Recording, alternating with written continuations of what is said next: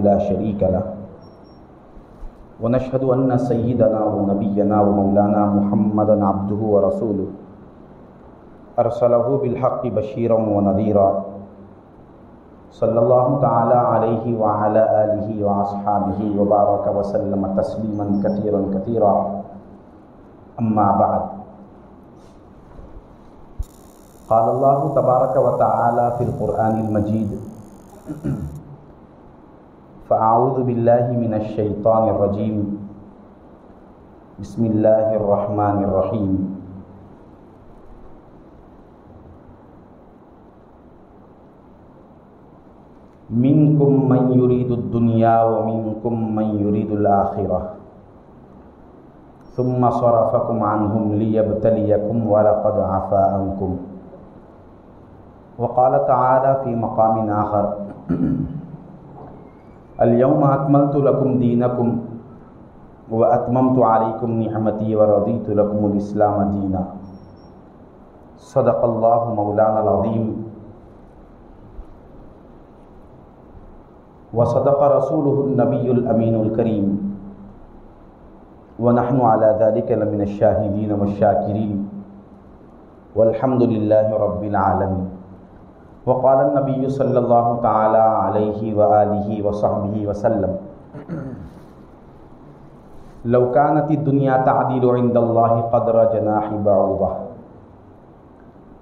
मा सपा का फिर मिन जर अतमा अव कमा पाल आलत वसलाम वक़ाल ताली शान हबीबी जलालम व इकरामा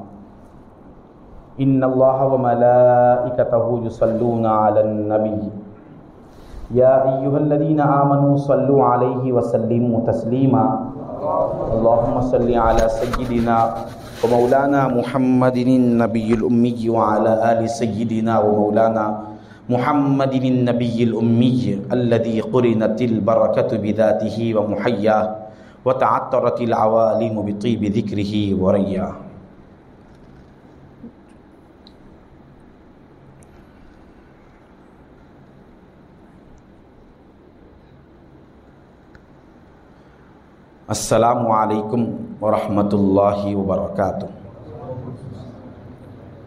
बुज़ुर्गान मिल्लत, अज़ीज़ान मोहतरम। अल्लाह जल्ल शानहु व अमन वालहु का बेानतहा शुक्र है कि उसने हमें सरकार दो जहाँ वालैहि वसहबिहि वसल्लम के उम्मत बाबरका में पैदा फरमाया और हमें इस पैदाइश पर बेानतहा फ़ख्र अदीम इनायत फरमाया। बेपाया करम है उस रब्बुल आलमीन का कि उसने हमें अपने हबीब पाक सल्लल्लाहु अलैहि वसल्लम के सदक़े से रमज़ानुल मुबारक जैसा मग़फ़िरतों, बरकतों वाला महीना अता फ़रमाया। और आज हम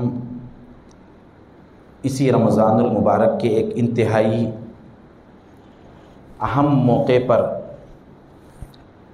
लैलतुल क़द्र की तलाश के में जमा है।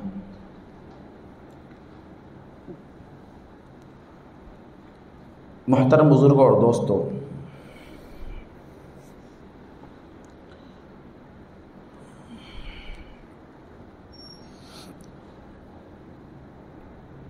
अल्लाह तबारक व ताली तो हमेशा बंदे के बारे में खैर का इरादा रखता है।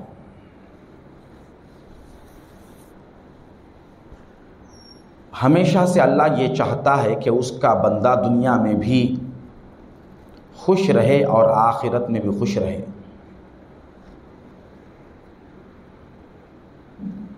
अल्लाह से बढ़कर इंसान को चाहने वाला और उससे मोहब्बत करने वाला कोई नहीं है। अल्लाह के मोहब्बत के सामने किसी भी शय की, किसी भी रिश्ते की मोहब्बत कोई माने नहीं रखती। यही वजह है कि हमारे गुनाहों के बावजूद आए दिन हम में बुराइयाँ बढ़ने के बावजूद अल्लाह तबारक व ताली अपने रहमतों के दरवाज़े मौका ब मौका खोलता ही जा रहा है।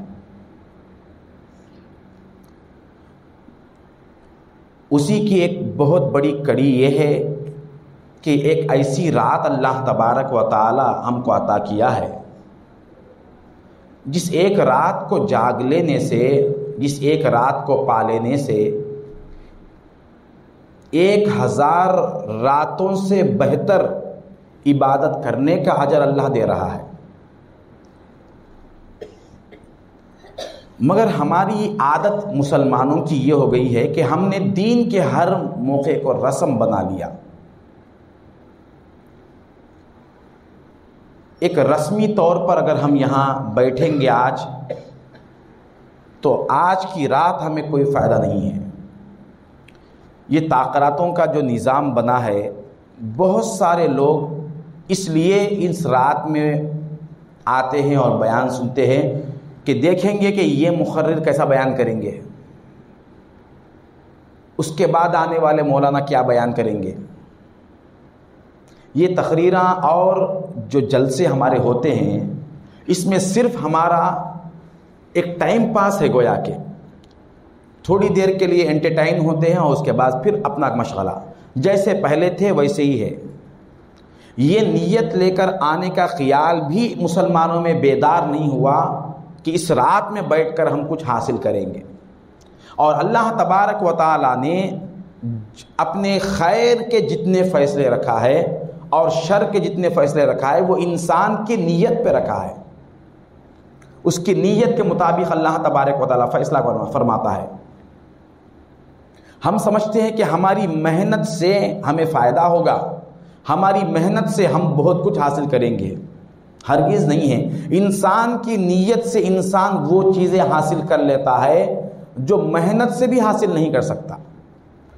जैसी नीयत होती है, अल्लाह तबारक व ताली वैसी नीयत के मुआफिक बोलने वाले का दिल खोल देता है, उसकी ज़ुबान से वो लफ्ज़ खुद ब खुद निकालता है, जो बात उसके लिए सुनने वाले के लिए ज़रूरी है। अब जितने लोग बैठे हुए हैं, मुझे नहीं मालूम कि किस, किसके दिल की हालत क्या है। किसको दीन का कौन सा हिस्सा ज़रूरी है, मुझे तो नहीं मालूम। मगर असल में नसीहत करने वाली ज़ात अल्लाह की है। हादिय मुतलक अल्लाह की ज़ात है। हिदायत तो अल्लाह ही देता है। ये कब होता लेकिन अल्लाह तबारक वाली की सुन्नत ये है कि किसी न किसी सूरत से हिदायत देता है। जिस तरह से राजिक अल्लाह है रिस्क देने वाला अल्लाह है, अल्लाह के सिवा कोई राजिक नहीं है, मगर किसी को कारोबार के ज़रिए से रिस्क दे देता है, किसी को विरासत में माल मिल जाता है अलग अलग सूरतों से देता है। ये उसकी सुन्नत है इस दुनिया में। तो बात नीयत की है। अब किसके दिल में नी, अच्छी नीयत हो कि मैं आज की रात बैठकर अपनी बातिन की कुछ इसलाह कर लूँ? ये आज की रात की नहीं जिस तकरीर में भी जिस वाज की महफिल में भी बैठे तो आदाब ये होते हैं कि मैं अपनी ज़िंदगी में क्या तब्दीली लाऊं इस बात से। जब तक ये नीयत सुनने वालों में ना हो बोलने वाला कितना बड़ा मुकर्र भी क्यों ना हो? वो कैसे से कैसा ख़तीब भी क्यों ना हो, उसके बातों से लोगों के कान तो खुश हो जाएँगे, लोगों के जहन तो खुश हो जाएँगे, लोगों को थोड़ी देर के लिए टाइम पास का तो मौका मिल जाएगा, मगर इसलाह और बातिन का तरीका उससे नहीं खुलेगा। आदम सलाम जब दुनिया में उतरे थे, ज़मीन पर आदम सलाम को अल्लाह तबारक वाली उतरा, उतारा तो सारे जानवरों में, परिंदों में, चरिंदों में ये ऐलान हो गया कि अल्लाह तबारक वाली अपने नायब को, अपने खलीफे को ज़मीन पर उतारा है। ऐलान हो गया, सबके अंदर ऐलान हो गया। ये अल्लाह का एक ख़ास ऐलान होता है अलग अलग मखलूक में, जिसको हम नहीं समझ सकते। जिसमें, जिसको हम हरगिज समझ नहीं सकते। जिन कौमों पर अल्लाह तबारक वाली अजाब लाता था, उस कौम पर उस बस्ती पर जब अजाब आना है तो उस बस्ती से जानवरों को अल्लाह निकाल देता था। जानवरों को कैसे मालूम होता था? जितने कौमों पर अजाबात आए, किसी जानवर को अल्लाह नहीं मारा। वो जानवर जो है, अल्लाह तबारक वाली के गैबी निदा से आगा हो जाते और वो उस बस्ती को छोड़कर चले जाते। कैसे मालूम होता है? ये जानवरों को ही मालूम है। अल्लाह तबारक वाली हर मखलूक पर, उसके दिल पर गैब से अपना इल्का, अपना मंशा उतारता है। उसी तरह बंदे के दिल पर भी अल्लाह उतारता है। नहीं उतारता। जब हम झूठ बोलने के लिए आमदा होते हैं, कोई बुराई करना चाहते हैं तो हमारे दिल में बात आती है कि यह बुरा है। ये कौन डाला बात कोई भी, कोई बयान करने वाला तो नहीं है। वहाँ कोई जो है तकरीर करने वाला नहीं है। कौन कान में आकर बोला, जब हम बुरा देखते हैं, हमारी आँख बुराई की तरफ़ इरादा करती है तो फ़ौरन दिल में बात आती है कि ये बुरा है, मत देखो। ईमान जिसके अंदर है, उसके दिल में यह बात आना ज़रूरी है। फल हम फुजू रहा व तकवाहा। हम अच्छी और बुरी दोनों बातों को इंसान के कल्प पर उतारते हैं। कदफला मन कहा कामयाब हुआ है जिसने अच्छी बात को उठा लिया। दो बातें इंसान के फल पर भी आती है। तो बात यह अर्ज़ कर रहा था, आदम सलाम को जब अल्लाह ज़मीन पर उतारा, सारे जानवरों में ऐलान हो गया कि अल्लाह का खलीफा आया है। खलीफतुल्लाह ज़मीन पर है। तो चंद हिरनियों ने एक मशवरा किया कि भाई अल्लाह का बंदा है अल्लाह तबारक व ताली अपने हाथों से जिसको बनाया है, वो कितना हसीन होगा। जिसको अल्लाह अपने दोनों हाथों से बनाया, कुरान कह रहा है, या इबलीस मामन आका तस्जुद खलक तो बियदई अरे वो इबलीस, क्या तुझे ये भी नज़र नहीं आया कि मैंने अपने हाथों से बनाया, उसके बावजूद भी तू क्यों सजदा नहीं किया? दोनों हाथों से बनाया। अब ये हाथ कैसे थे? उसके शायान शान थे। ऐसे तो हाथ नहीं थे, वो अलग बात है। मगर यहाँ अल्लाह मोहब्बत का इजहार कर रहा है। ये एक आदम सलाम को नहीं, हर सूरत को अल्लाह ताला अपने हाथों से बनाया है। इसीलिए सरकार दो आलम सल्लल्लाहु अलैहि वसल्लम ने फरमाया, किसी को मारना हो तो उसके जिस्म के किसी भी हिस्से पर मारो, किसी के चेहरे पर मत मारो, क्योंकि चेहरा अल्लाह क्या मंशा है? अल्लाह के हाथों से बनाया हुआ है। किसी के चेहरे पर मत मारो। तो इन्होंने मशवरा किया, हिरनियों की एक जमात ने, कि अल्लाह ने जिसे अपने हाथों से बनाया, वो आ रहा है। चलो हम जाकर मुलाकात करते हैं। उनके दिलों में अल्लाह की अजमत है। अल्लाह के हाथों से निस्बत लिए हुए आदम सलाम की अजमत है। इसलिए वो जमात बनाकर गए। आदम सलाम से मुलाकात की, उनके पास गए और बादब बैठ गए थोड़ी देर के लिए। मासूम से हिरनियों को देखकर आदम सलाम खुश हो गए। दिल में खुशी हुई। तो आदम सलाम ने शफकत से उनके पीठ पर हाथ फेर दिए। वो हिरनिया थोड़ी देर के बाद वहाँ से निकल गई और जंगल में अपने ठिकाने पर आ गई। जब शाम का वक्त हुआ तो वो जो हिरनिया आदम सलाम से मिलने गई थी और आदम सलाम ने उनके पीठ पर हाथ फेरा था शफकत से उनके अंदर से मुश्क की खुशबू आने लगी। मुश्क एक इतर है, ये जन्नत का इतर है। दुनिया में इसका कोई फार्मूला नहीं है असल में। दुनिया में इसका कोई फार्मूला नहीं है। ये इस इतर का कमाल ये है कि एक कतरा अगर 10 लीटर पानी में मिला दिया 10 लीटर सादे तेल में मिला दिया जाए तो वो तेल पूरा खुशबूदार हो जाता। हमारे पास जो इतने आते हैं आजकल, ऐसे ही बन के आती हो। उसमें एक खतरा रहता असल में, असली इतर का।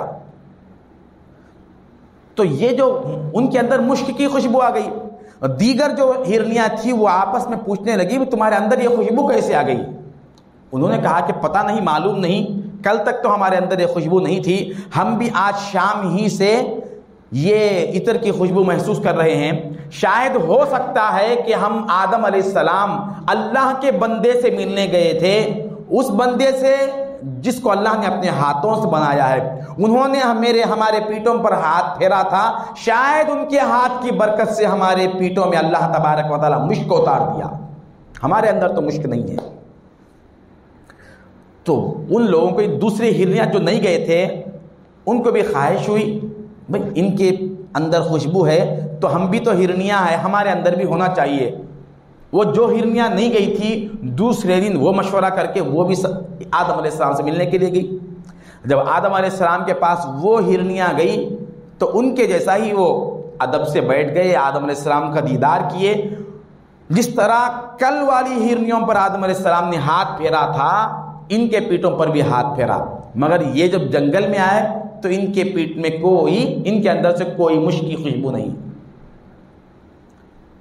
तो ये जो हिरनिया, जो दूसरी गिरोह गई थी, उन्होंने शिकायत किया कि तुम झूठ कह रही हो। तुम्हारे अंदर से यह खुशबू कहीं और से आ गई है। हम भी तो आदम सलाम के पास गए। आदम ने हमारे पीठ पर भी हाथ फेरा। हमारे अंदर खुशबू क्यों नहीं आई? हमारे अंदर ये खुशबू क्यों नहीं आई? तो हिरनियों ने जवाब दिया, हिरनियों ने जवाब दिया कि बताओ तुम क्यों गए थे आदम सलाम के पास? कहा कि हम मुश्क की खुशबू हासिल करने के लिए गए थे। तुम्हारी नीयत में खुशबू हासिल करना था, मगर हम मुश्क के लिए नहीं गए थे। हम अल्लाह के हाथ से बने हुए इंसान की सूरत को देखने के लिए गए थे।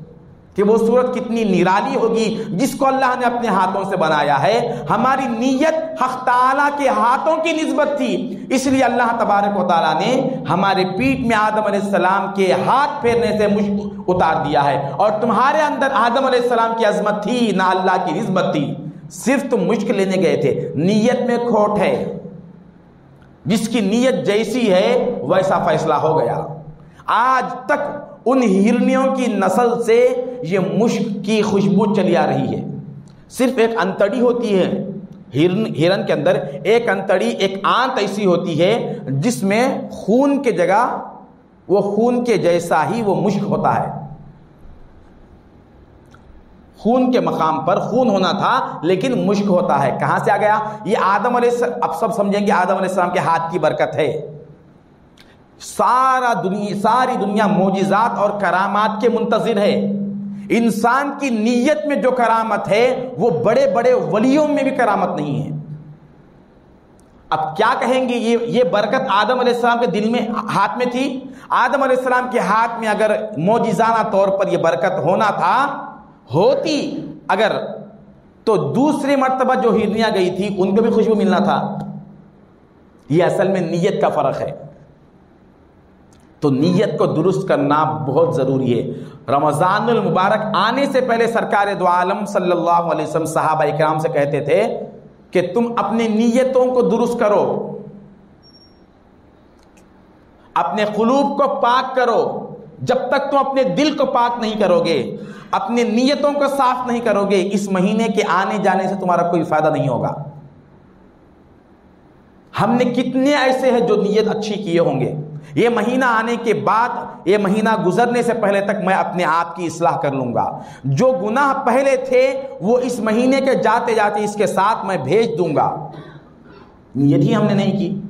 तो थो, एक महीने के लिए हम एंटरटेन होना चाहते हैं, अपना माहौल बनाना चाहते हैं, फिर उसके बाद वो जो पहली कैफियत थी, वही कैफियत लेना चाहते हैं।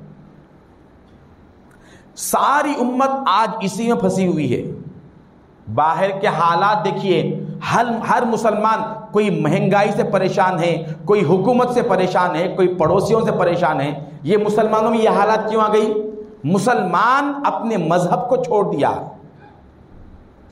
मुसलमान अपने मज़हब को छोड़ दिया। जैसे ही मुसलमान अपने मज़हब को छोड़ दिया और दीन को खातिर में नहीं लाया, अल्लाह तबारक वाली सारी मखलूक को इसकी मुखालिफ कर देता है। वरना आज क्या बात है? वही मुसलमान है। उसी कलीमे के पढ़ने वाले हैं हम जिस कलीमे को साहबा इकराम ने पढ़ा था। उसी कुरान को हम पढ़ते और सुनते हैं, जिस कुरान को सरकार शासन ने पढ़ा और सुना, सुनाया। साहबा इकराम ने पढ़ा और सुना, सुनाया। कुरान तो वही है, कलीमा भी वही है, मगर मुसलमान, आज के मुसलमान और 1400 साल के पहले के मुसलमानों में फ़र्क क्यों है? मुसलमानों को जवाल कब आता है। ये जो हालात बिगड़ते हैं इसकी वजह मुसलमान के ईमान की कमज़ोरी है। उसके दीन को छोड़ने की वजह है। आज हर मुसलमान के ज़िंदगी का मकसद यह है कि मैं अच्छा रहूँ, मेरा घर अच्छा खाता पीता रहे। मेरे बच्चियों की अच्छी शादियाँ हो जाए, बच्चों के अच्छे मकाम पर शादियाँ सब खुश रहे। दीन का दीन रहा तो रहा, गया तो गया। नमाज़ पढ़े तो पढ़े, क्या कौन पूछने वाला है? सुन्नत रसूल रखो तो रखो तो, तो छोड़ो कौन पूछने वाला है? और गुनाह तो आम है कोई परवाह भी नहीं करता एहसास तक भी नहीं है। जो कौम गुनाह करके गुनाह के एहसास को भी अपने बातिन में अपने दिल में महसूस नहीं करती उस कौम को अल्लाह तबारक व ताली सारी ज़िंदगी जिल्लत के घाट उतार देता है। अब हुकूमत आज मुसलमान से बिल्कुल मुखालिफ होते जा रही है। हम हुकूमत को जो है, इल्ज़ाम दे रहे हैं कि ये आ, हुकूमत पे आ गया, ये आ गया, वो आ गया। हर शख्स चाह रहा है कि पेट्रोल के दाम कम होते जाए, मगर आए दिन बढ़ते ही जा रहे हैं। हर चीज़ की महँगाई बढ़ रही है। यहाँ तक कि मुसलमानों की हर शख्स की ज़िंदगी तंग हो रही है। इसकी वजह क्या है? अभी कभी हमने गौर किया जब तक बंदा हक के ताबे रहता है, उसके मंशा के ताबे रहता है, अल्लाह तबारक वाली सारे माहौल को उसके ताबे कर देता है। हालात जब से जैसे ही बिगड़ते हैं तो मुसलमान के अंदर यह शऊर बेदार होना चाहिए, मेरी कौन सी गलती है जिसकी वजह से ये हालात आए हैं? यकीनन ऐसे ही होता है। हर दौर में ऐसा ही हुआ। वरना सहाबा कराम अभी चंद दिन पहले आप किसी वाद में सुने होंगे, जंगे बदर का वाक्य पेश आया। तीन सौ तेरह अफराद एक हज़ार के मुकाबिल में लड़ रहे हैं और इनके पास न हथियार है, न खाने का अजूखा है, न सवारियाँ है, न कुछ है। किसी शय को इनके पास अल्लाह ने नहीं रखा। मगर ये कौम क्यों फाते बनी? क्या था उनके पास? आज जो हम अपनी कामयाबियों को दौलत में देख रहे हैं, अपनी कामयाबी को जायदाद में देख रहे हैं, अपने कामयाबियों को जाती मकान में देख रहे हैं, ये कामयाबी नहीं है दोस्त। ये कामयाबी नहीं है। सुकून दिल जिसको मिल जाए वो कामयाब है। इंसान मुसलमान जब जिस मस्ती में रहता है, मुसलमानों का रोब अल्लाह तबारक वाली सारी दुनिया में डाल देता है। मुसलमान की शान तो वो है। आज मुसलमान, वो दीनदार कहाँ है? बस दीन कहते किसको है? दीन मंशा इलाही को कहते हैं। दीन किसको कहते हैं? अल्लाह जिससे राज़ी है, उस चीज़ को दीन कहते हैं। हम सुबह से शाम तक जो ज़िंदगी गुजार रहे हैं, कितने अल्लाह के मंशा उसमें है? अल्लाह की मंशा कितनी है? हमारे नफ्स का मंशा कितना है? जब हम अपने नफ्स के मंशा को सामने रखेंगे हक के मंशा को छोड़ देंगे तो फ़ौरन उसका असर यह होगा कि सारी मखलूक मुसलमान की मुखालिफ हो जाएगी। भाई, तुम खुद अपने मौला के मुखालिफ है तो हम तुम्हारे मुखालिफ नहीं होंगे तो क्या है? हज़रत हसन बसरी रहमत के एक बहुत बड़े मशहूर खलीफा गुजरे हैं, हज़रत अब्दुल वाहिद बिन जैद रज़ी अल्लाह तु अब्दुल वाहिद बिन जैद रज़ी अल्लाह तु ये पह, ये सिलसिले चिश्तिया के मशाइख में से है। चिश्तिया सिलसिले का जब शजरा पढ़ेंगे तो उनमें आपका नाम आता है। बहुत बड़े अल्लाह वाले थे, ज़िंदगी में शादी कभी नहीं किए वो। उन्होंने अल्लाह की बारगाह में दुआ की कि अय अल्लाह, मैं दुनिया में तो शादी नहीं किया। जन्नत में तो कोई ना कोई मेरी रफ़ीक़ा होगी। जन्नत में तो मुझे कोई तू बाखुदा को देकर शादी करेगा, वो कौन है मैं जानना चाहता हूँ। तो अल्लाह तबारक वाली ने आपको ख्वाब के ज़रिए से बतलाया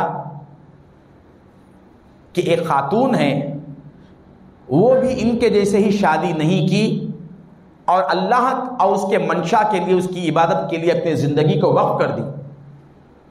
ख्वाब ही में पता भी मालूम कर दिया गया तो आप मुलाकात के लिए निकले। जिस बस्ती में वो खातून, वो औरत रहती थी, उस बस्ती वालों को मालूम हुआ कि अब्दुल वाहिद बिन जैद आ रहे हैं। सारी बस्ती बस्ती वाले सब इस्तकबाल के लिए आ गए। लोग आ गए तो लोगों ने आपसे मुलाकात की, उसके बाद पूछा कि, हज़रत, आप हमारे बस्ती में आए हैं? क्या काम है? ऐसा कौन सा काम हमारी बस्ती में है जिसकी वजह से आप हमारी बस्ती में तशरीफ़ लाए हैं? तो आपने कहा मैं फला औरत से मिलने के लिए आया हूँ। उनका नाम था मैमूना। तो लोगों ने कहा, आप तो उसका नाम मैमूना कह रहे हो, लेकिन हम उसको मजनूना समझते हैं। यानी पागल औरत है। हमारे पास उसका कोई मकाम नहीं है। आप इतने बड़े अल्लाह वाले हैं। आप एक ऐसे पागल औरत से मिलने आए हैं। आज भी हाल यही है। दीनदार को सबसे बड़ा पागल समझते हैं दुनिया। जिसको दीन मालूम, जिसको कुरान मालूम, उसको पागल समझते। जो ज़िंदगी में अच्छी तरह सेटल हो गया मतलब कारोबार अच्छे, सब अच्छे, उसको सबसे बड़ा होशियार समझते। दुनिया जो जमा लिया जो जितना जमा लिया उसको ज़्यादा होशियार समझते। हर दौर में था ऐसा ही। साहबा इकराम को भी कुफ्फार और मुशरकी नहीं समझते थे। भाई, इनको क्या हो गया है? अच्छे खासे दौलत को छोड़कर और अपने मनसबों को छोड़कर हिजरत कर रहे हैं, क्या हो गया इनको? बात तो यही है जो शख्स जिस चीज़ को चखता है उसका मज़ा उसी को मालूम होता है। जो नहीं चखा उसको मालूम कैसे होता? बताने से तो मालूम नहीं होता। मज़ा तो बताई जाने वाली शय ही नहीं है।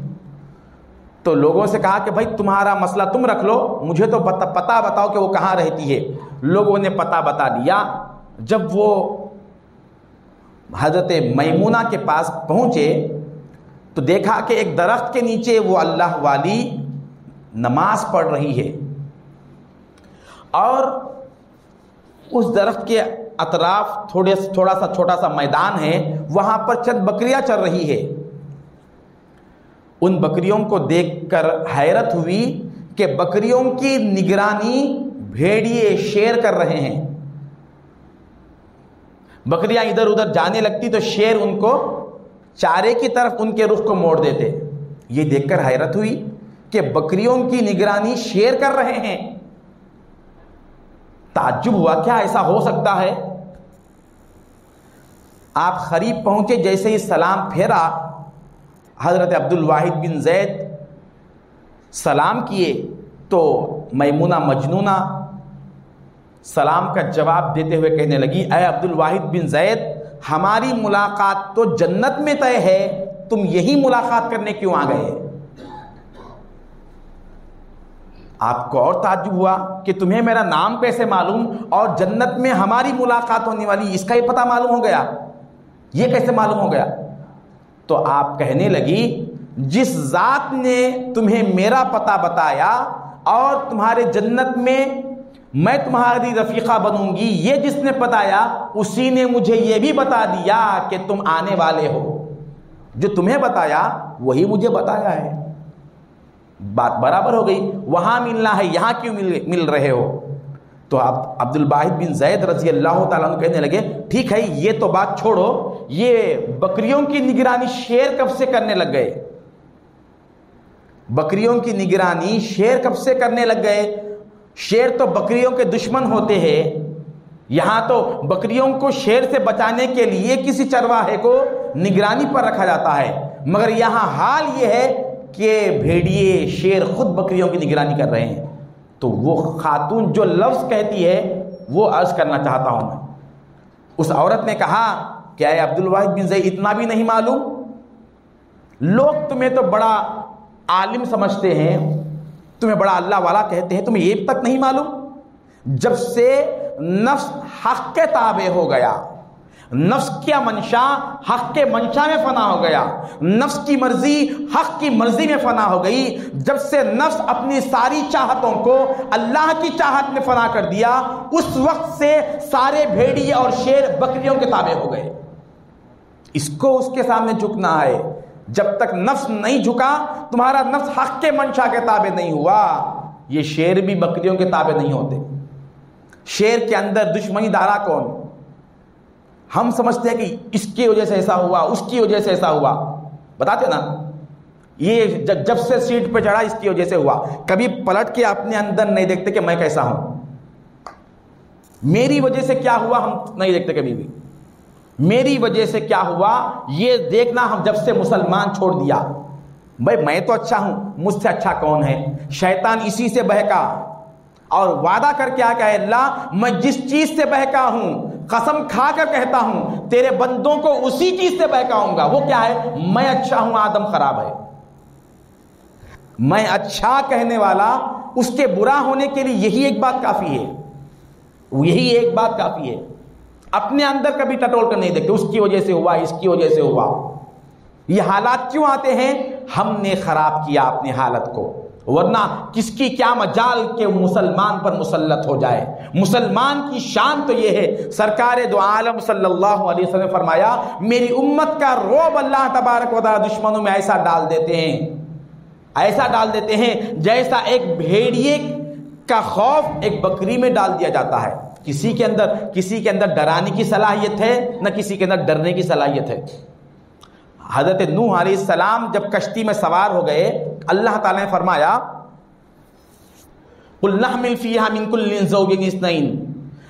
नू कश्ती में अपनी उम्मत को चढ़ा लो जो ईमान लाए हैं। और जितने जानवर हैं, हर जानवर में से एक नर और एक मादा को सवार कर लो। क्योंकि अब सारी दुनिया गर्क होने वाली है। ऐसा आजाब जो नू सलाम पे आया, किसी कौम पर नहीं आया। सारी दुनिया वफजरनल अर्दन फलतकल माला अमरिन कद कुदिर। तजरीब आयुनिना जजा काना कुफिर। हमने सारे ज़मीन को चश्मा बना दिया।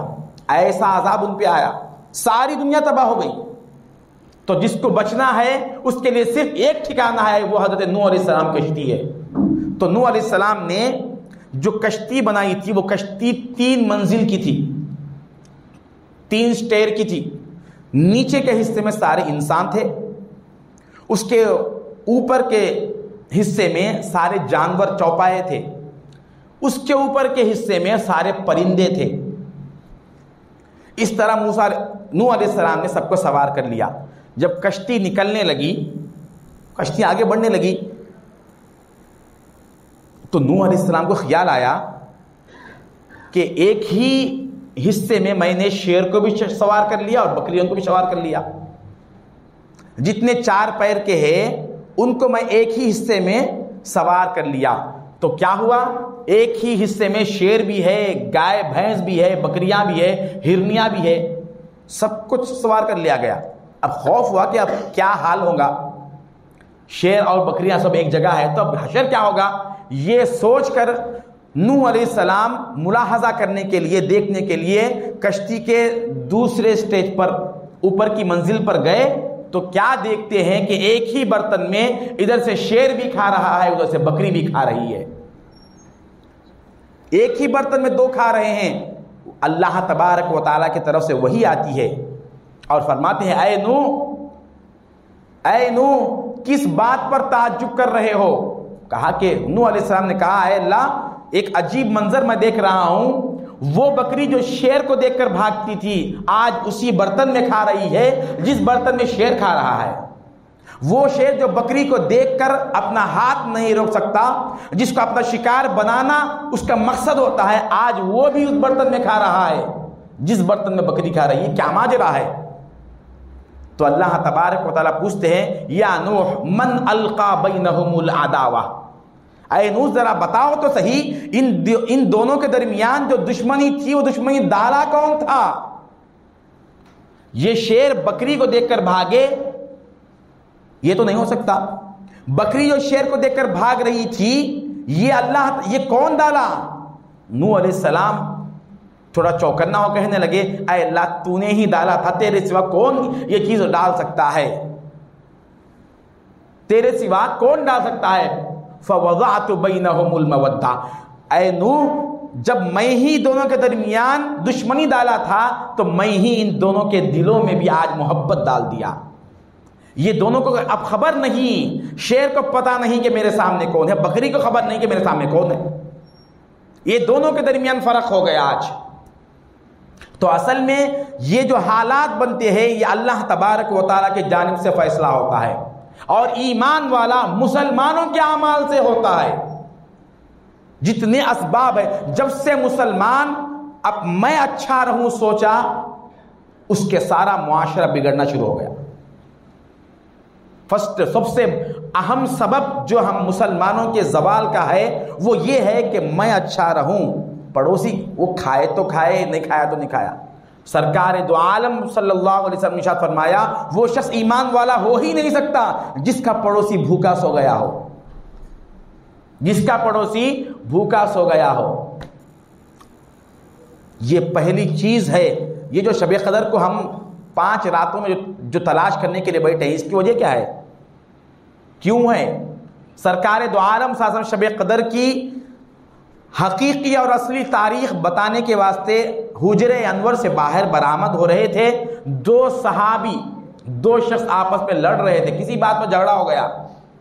अल्लाह तबारक वाली ने आप पर वही फरमाई। हुजूर ने फरमाया, मैं अभी बताने ही वाला था, तुम दोनों आपस में जो झगड़ रहे थे, उसकी वजह से अल्लाह तबारक वाली मेरे दिल से शब कदर की तयन को मुकर्रा तारीख को उठा लिया।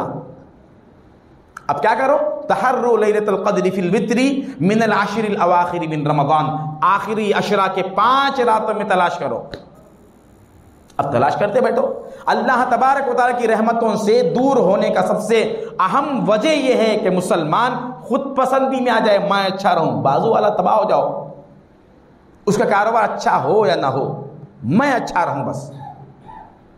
पहली गलती यह है सहाबा कराम में जो मोहब्बत थी आपस में, उसकी बड़ी, बहुत बड़ी वजह यह थी। अजीब जमाना था वो। अजीब जमा था। मेरे पास कुछ हो या ना हो, मेरा भाई खुश रहा तो बस है। ये सहाबा का, सहाबा की ज़िंदगी थी। आज हम इफ्तार ही में देख ले सकते हम अपना हाल क्या है। इफ्तार में बैठते ही हम देख ले सकते। हमारा नफ्स कितना, किस दर्जे को गिर चुका है। किस दर्जे गिर चुका है? बाजू, अब इसका बैन सबूत यह है, किसी का ऐब हमारे सामने खुल जाए। फला शख्स के अंदर फला फला के घर में कुछ झगड़ा हुआ। चार आदमी को बताए तक हमारे पेट में दर्द होते रहता।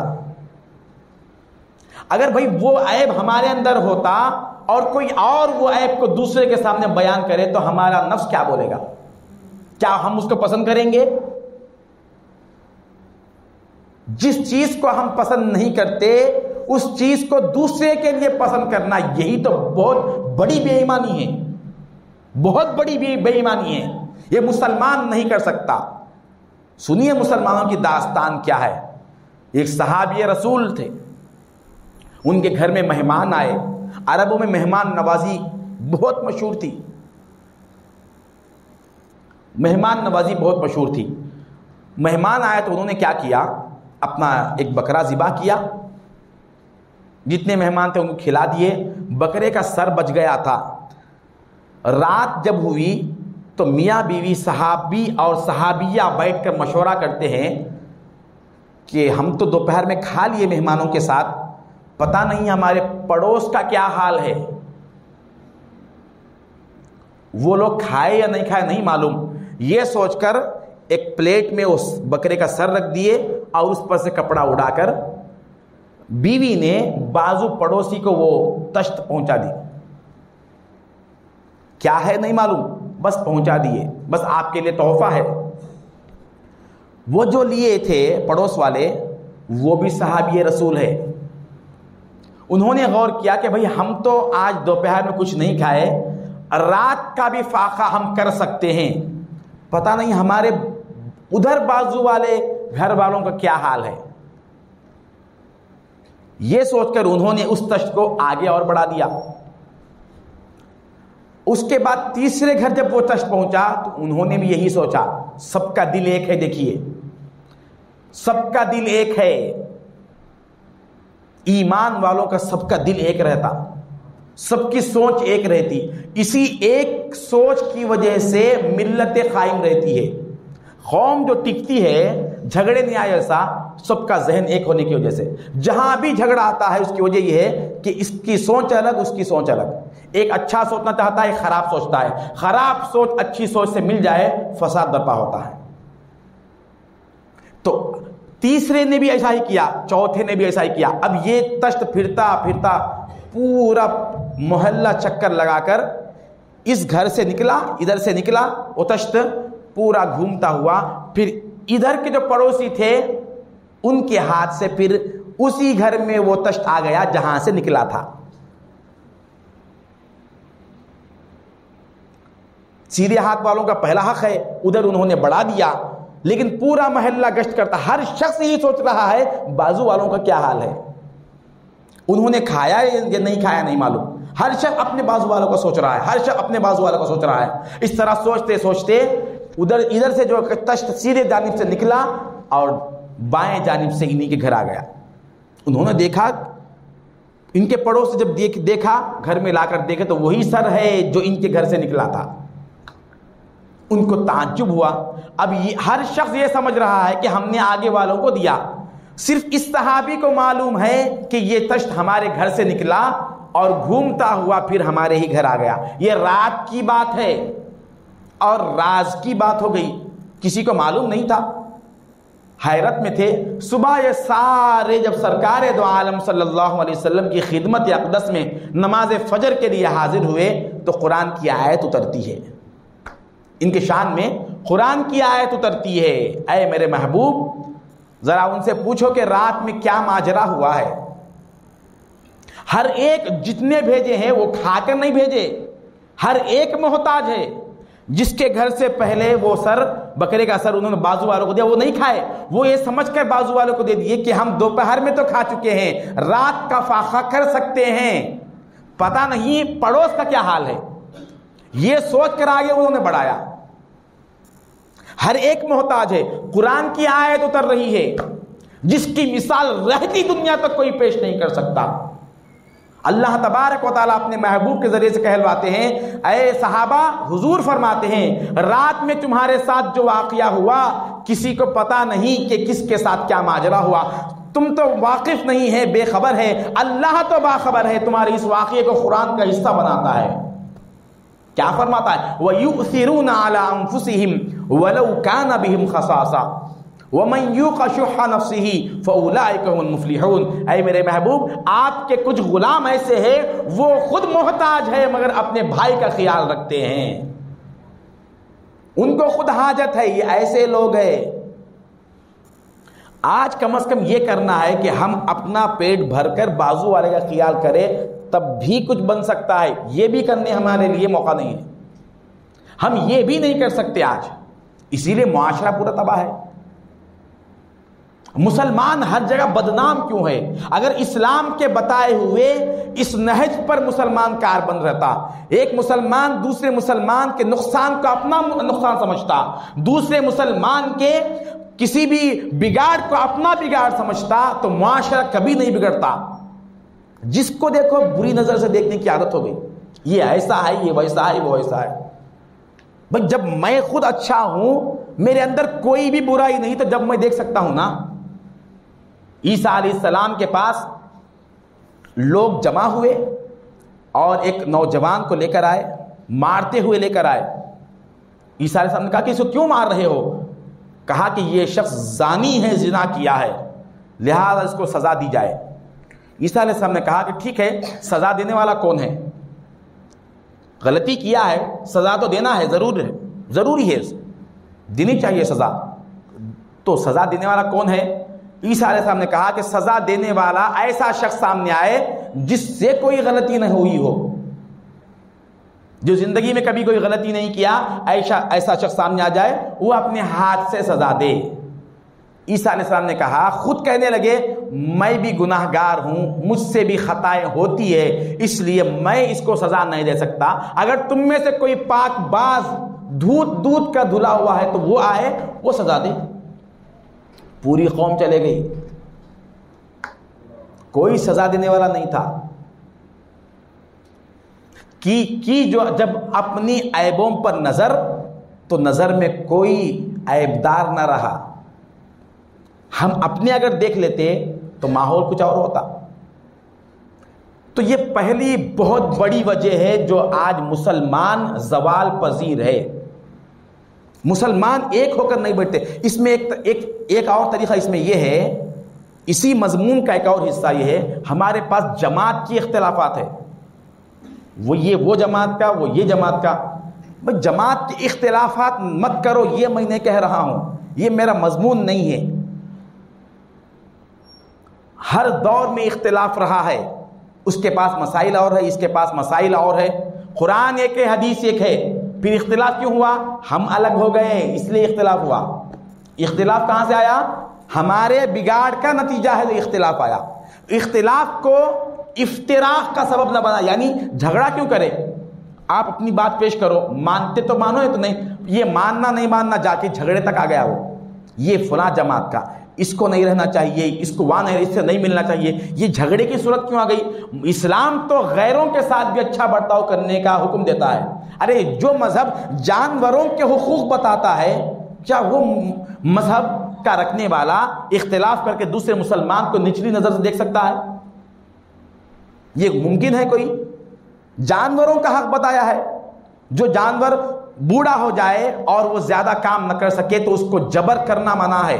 हुजूर ने फरमाया, किसी भी गाय या भैंस भैंस को, उसके बच्चे को उससे जुदा मत करो। उनके अंदर भी एहसास होता है हुजूर ने फरमाया।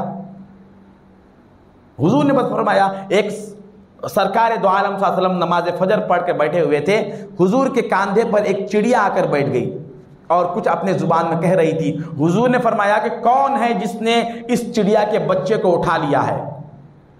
जानवर भी बात करते हैं सरकार दो आलम सासम से। तो एक साहब आकर कहने, या रसोल्ला इसका बच्चा मुझे बहुत अच्छा मालूम हो रहा था, इसलिए मैं घूसरे से उठा लिया। हुजूर ने फरमाया, अगर तुम्हारे बच्चे को इसी तरह कोई उठा लेता तो तुम्हारा क्या हाल होता? तुम्हारे दिल पर जो बात गुजरती, इस पर भी वही एहसास है। इसके दिल पर भी अपने बच्चे की जुदाई का वही गम है। ये मज़हब हमारा है। भाई, इख्तिलाफ रखो, आप किसी जमात के हैं, अपने जमात पर बरकरार रहिए। इख्तिलाफ पर बरकरार रहिए, मगर इसके अंदर इख्तिलाफ करते हुए दुश्मनी क्यों है? शैतान कहाँ से कहाँ ला लिया? इख्तलाफ की सूरत को, वजह को रखा और दरमियान में आपस में दुश्मनी का पैदा कर दिया। फूट पैदा हो गई। जब मसला आ गया तो मुसलमान जुदा जुदा हो गए। मुसलमान जब अलग होते हैं तो अब अल्लाह की रहमत किस पर नाजिल होना? ये एक बहुत बड़ी वजह है।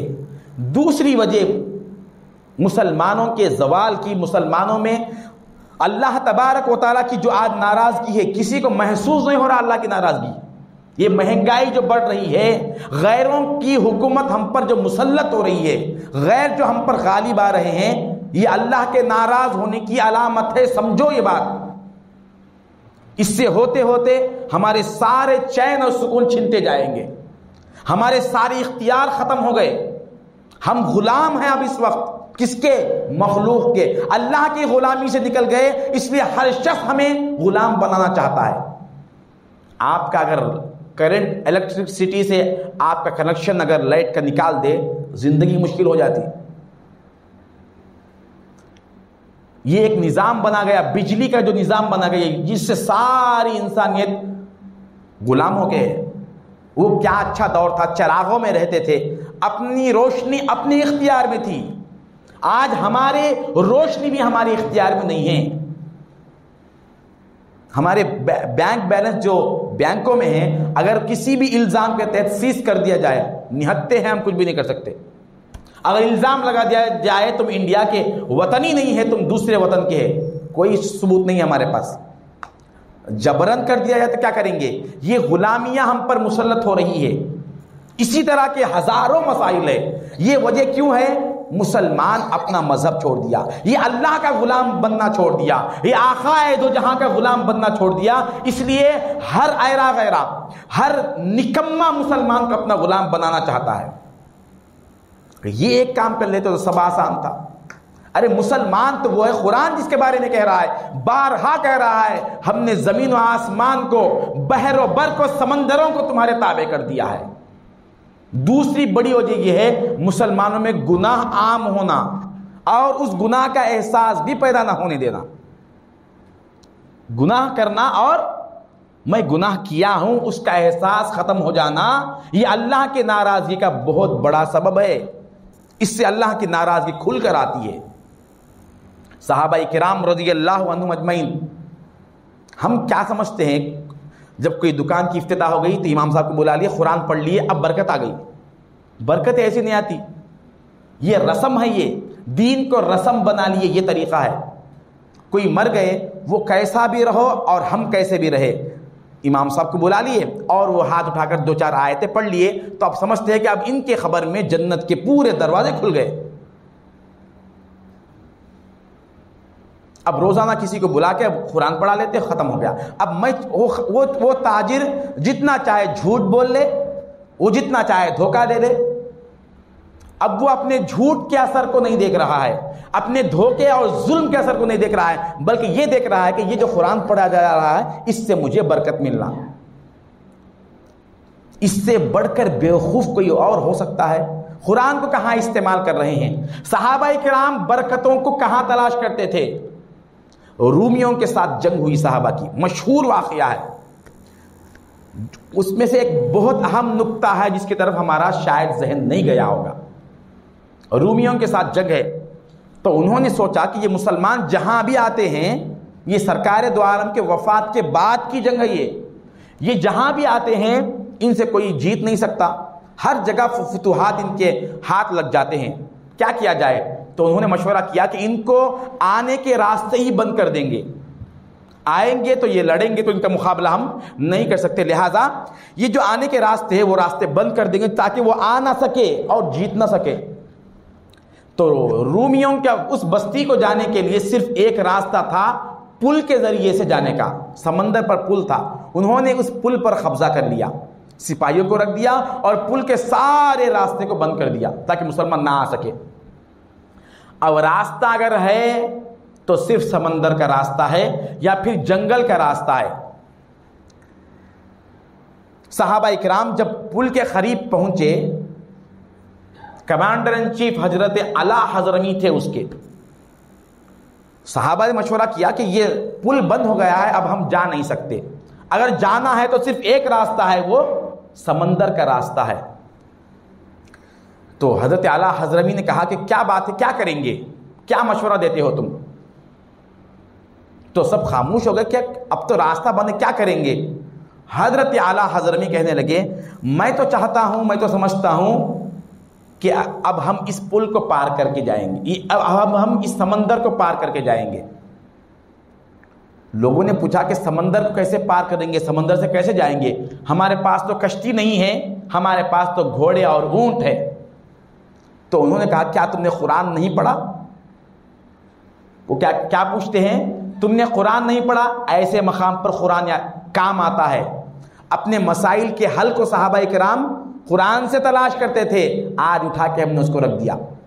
कभी कोई आफत आई तो कुरान को पढ़कर पूछ कर नहीं देखा कि हमारी इस आफत का क्या क्या इसमें नतीजा है, इसमें क्या इलाज है? कुरान कह रहा है, यासीन वल कुरान हकीम। कसम है, हिकमत वाले कुरान की। वो वो हिकमत बताने वाली किताब है, उसको बंद करके रख दिए। वो जो कौम अपने मसाइल के हल को कुरान में तलाश करती थी, उनको समंदर में भी रास्ते मिले कुरान से।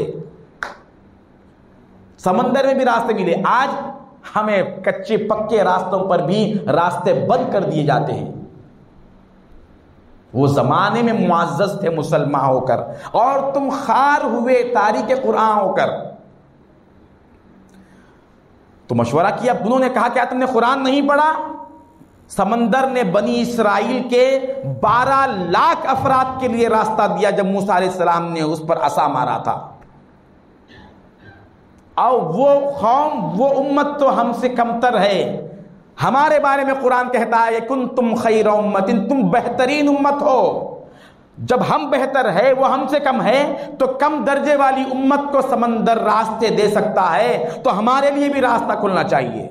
और हम रास्ता बनाकर जाने वाले नहीं हैं। क्या कह रहे हैं? अगर हमारे लिए भी रास्ता बन गया तो उनमें और हम में बराबरी हो जाएगी। बनी इसराइल में और हम में बराबरी हो जाएगी। उनके लिए भी समंदर रास्ता खोल दिया।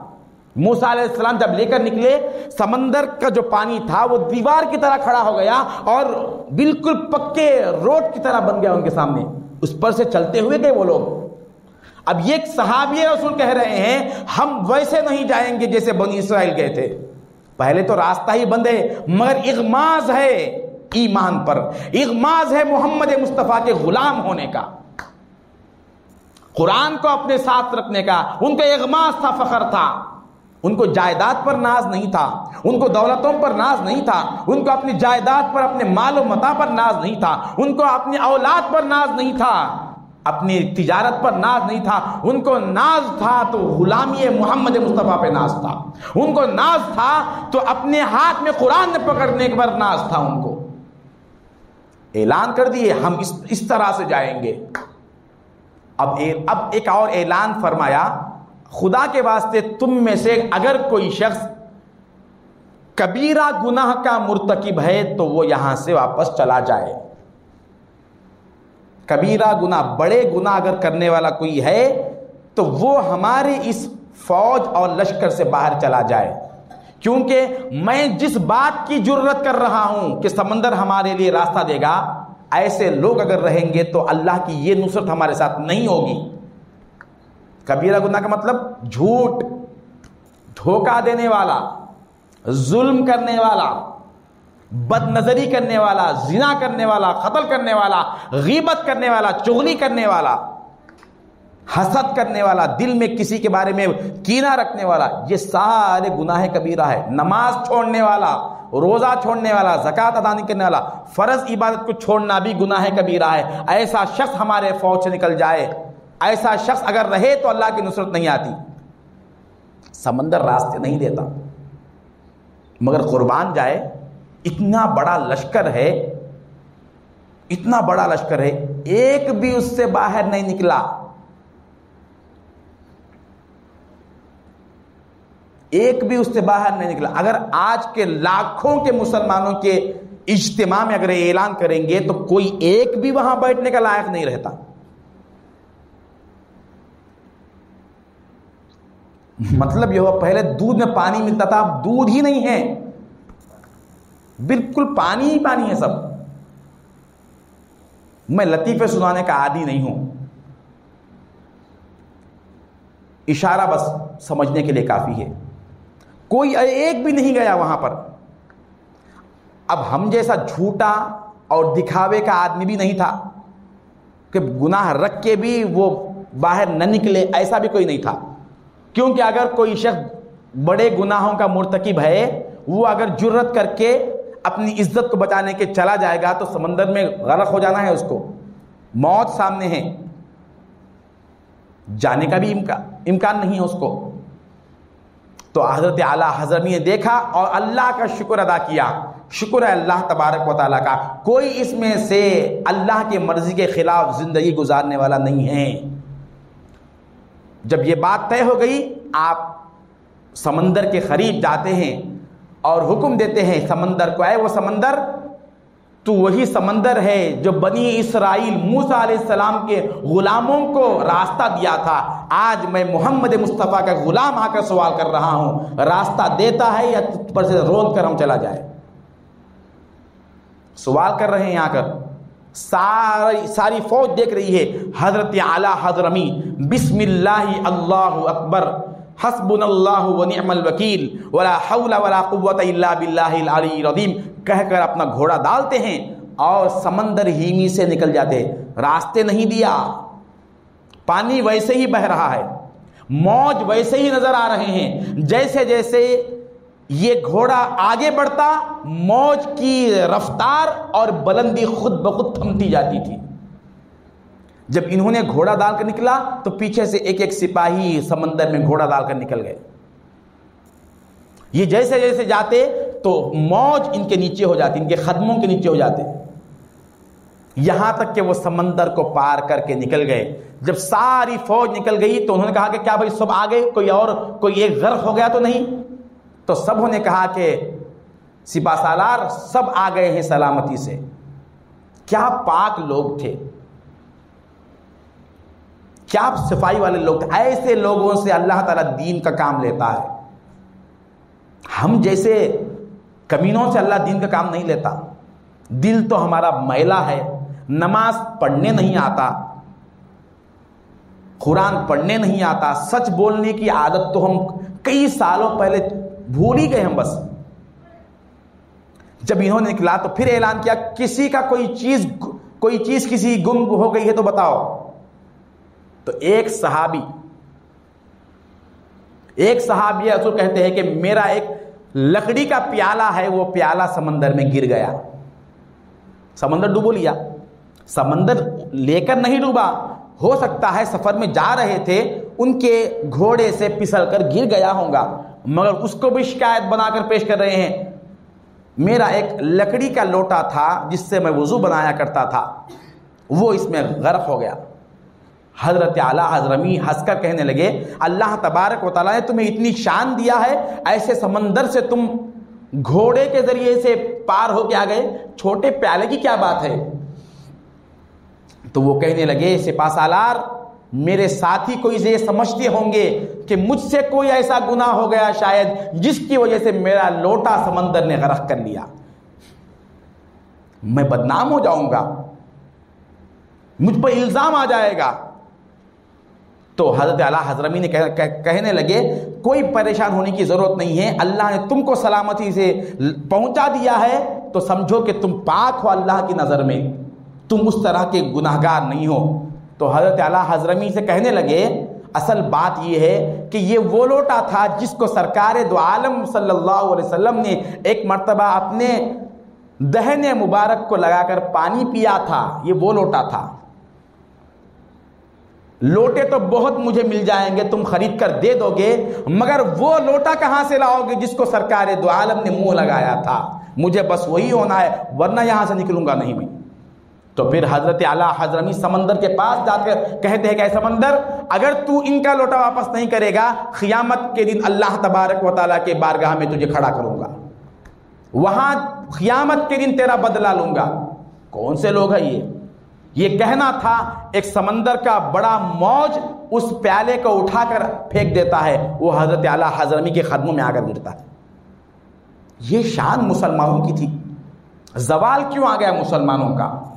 मुसलमान आज बड़े मकाम पर नहीं हैं। हम जो बड़पन समझ रहे हैं, अच्छी दौलत अच्छा जॉब, अच्छी, अच्छे कारोबार अच्छा घर एयर कंडीशन हो जाए तो ये अच्छा समझ रहे हैं हम।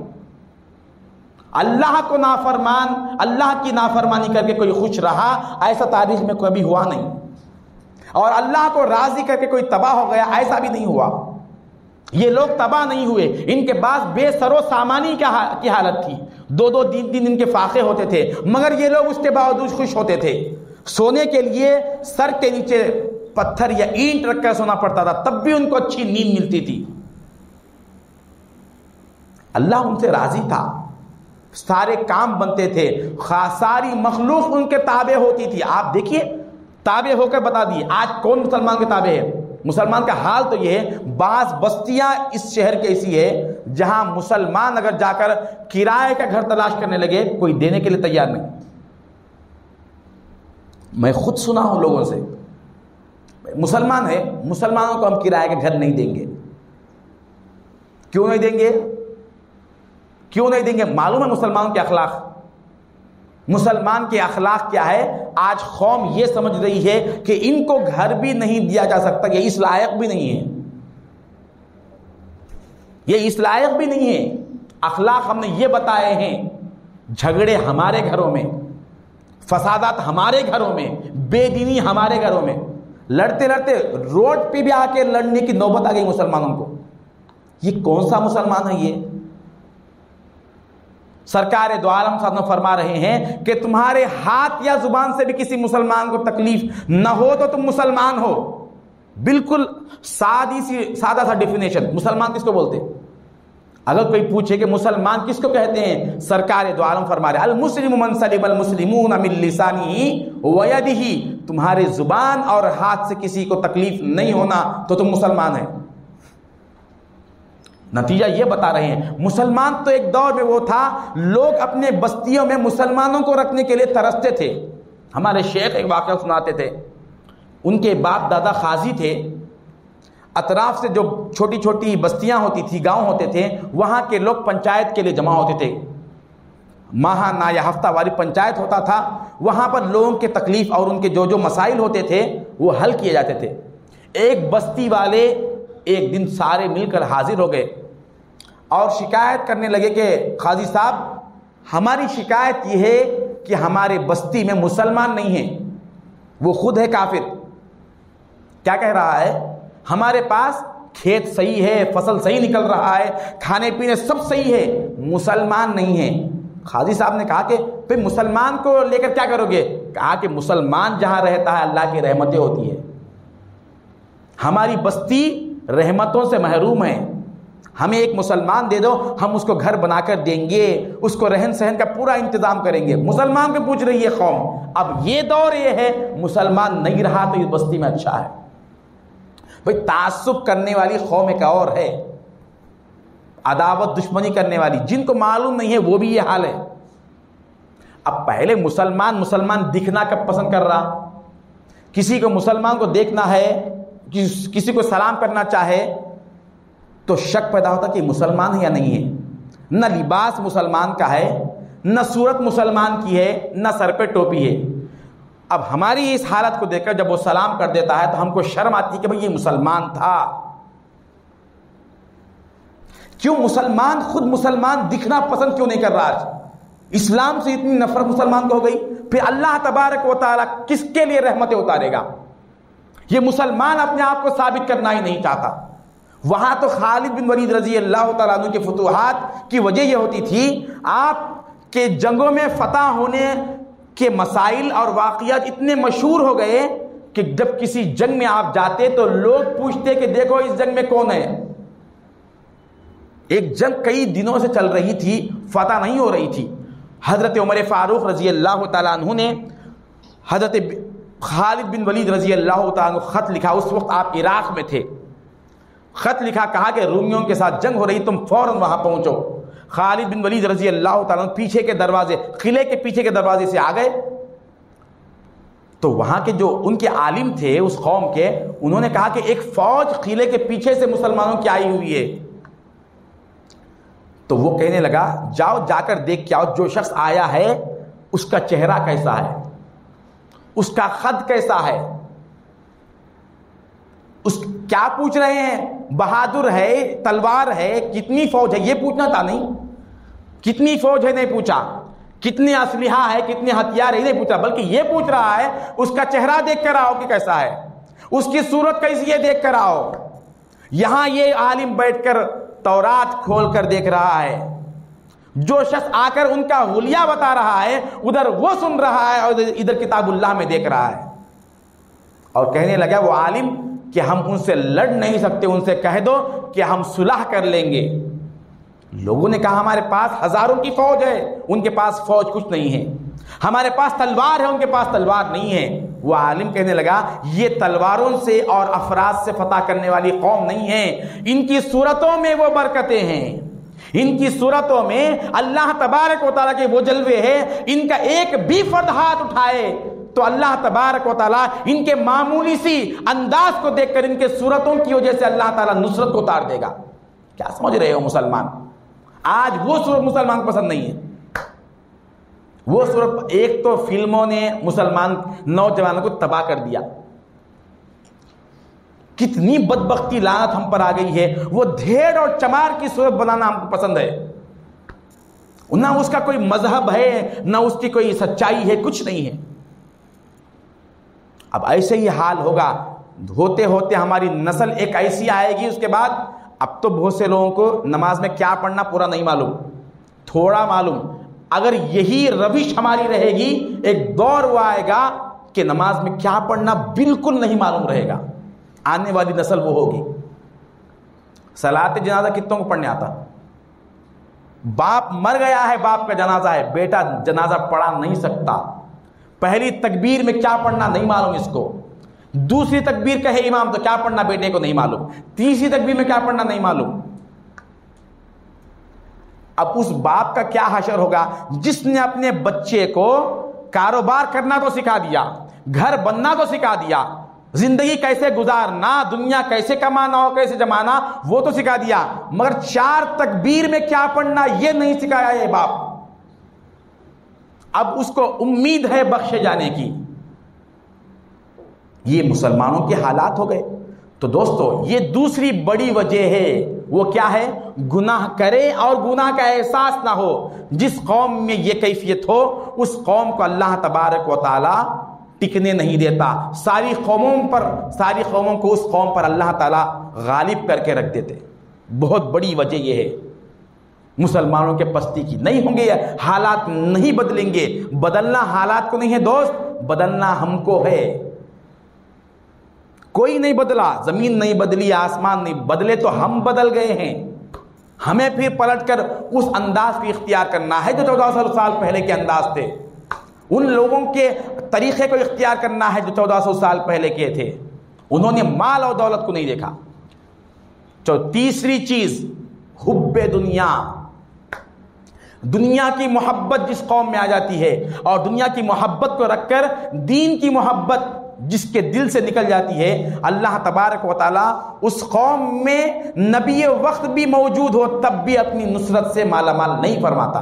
तीसरी चीज़, अब जो आयत करीमा में खुतबे के दौरान तिलावत करने का शरफ हासिल किया, अल्लाह तबारक वाली फरमा रहा है मिन कुम मंजूरी दुनिया, तुम में से बाज वो है जो दुनिया को तलब करने वाले वो मिन कुम मंजूरी आखिरा थोड़े लोग हैं जो आखिरत को चाहने वाले हैं। ये किसको कह रहा है अल्लाह? इस दुनिया की मोहब्बत जिसके दिल में उसको गुनाह ही नहीं समझते। भाई, मैं तो झूठ नहीं बोलता, पाँच वक्त का नमाजी हूँ। अब तक तो बात ये चल रही थी, नमाज़ नहीं पढ़ने वाला, बुराइयाँ करने वाला और उसको गुनाह नहीं समझने वाला, वो बात चल रही थी ना। अब आइए उन लोगों की बात, जो नमाजी तो बरकरार है। टोपी, दाढ़ी सब बरकरार है, उससे बढ़कर है। मगर दिल में दुनिया की मोहब्बत है। दुनिया की मोहब्बत का मतलब ये नहीं तो मैं कैसा जीऊँगा? ऐसे बड़े बड़े नमाजियों को मैं देखा हूँ। हज, हाजी भी एक नहीं, दो, तीन हज करके है। नमाज़ कभी सफ़े अव्वल से पीछे नहीं होती।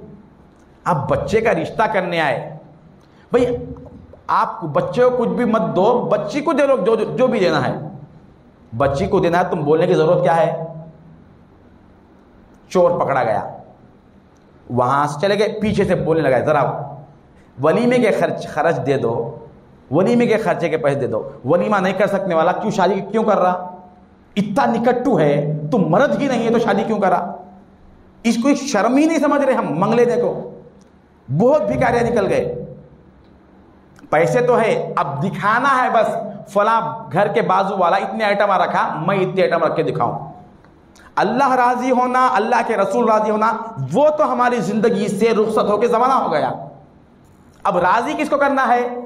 सारे नफ्स वालों को राज़ी करना है। बहन को राज़ी करना बहनवी को राज़ी करना, साड़ू को राज़ी करना सबको राज़ी करना। कभी सोचे थोड़ी देर के लिए, इस शादी से, इस कार्रवाई से अल्लाह कितना राज़ी है? भाई नहीं, वो राज़ी, नाराज़ हो जाते फौरा नाराज़ हो जाते। कितना ख्याल करते हम? अब थोड़े बिल्कुल मन चले लोग रहते जरा पूछ के नहीं देखे तो ना, नाराज़ होने वाले। ऐसे लोगों को पलट कर भी नहीं देखना। चल निकल अपने रास्ते से बोल के। हम उसको उसको जितना मनाते काश अल्लाह को अगर उतना बनाते तो हम कुछ और होते थे।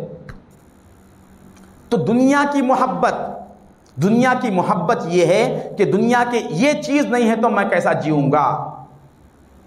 दुनिया का नुकसान आते ही दिल पकड़ के बढ़ जाते। दीन का नुकसान पर कभी गौर ही नहीं किए हम। इधर मस्जिद की आज़ा हो रही है, और उधर बाहर हम अपने मशगले में हैं। सब बरकरार है।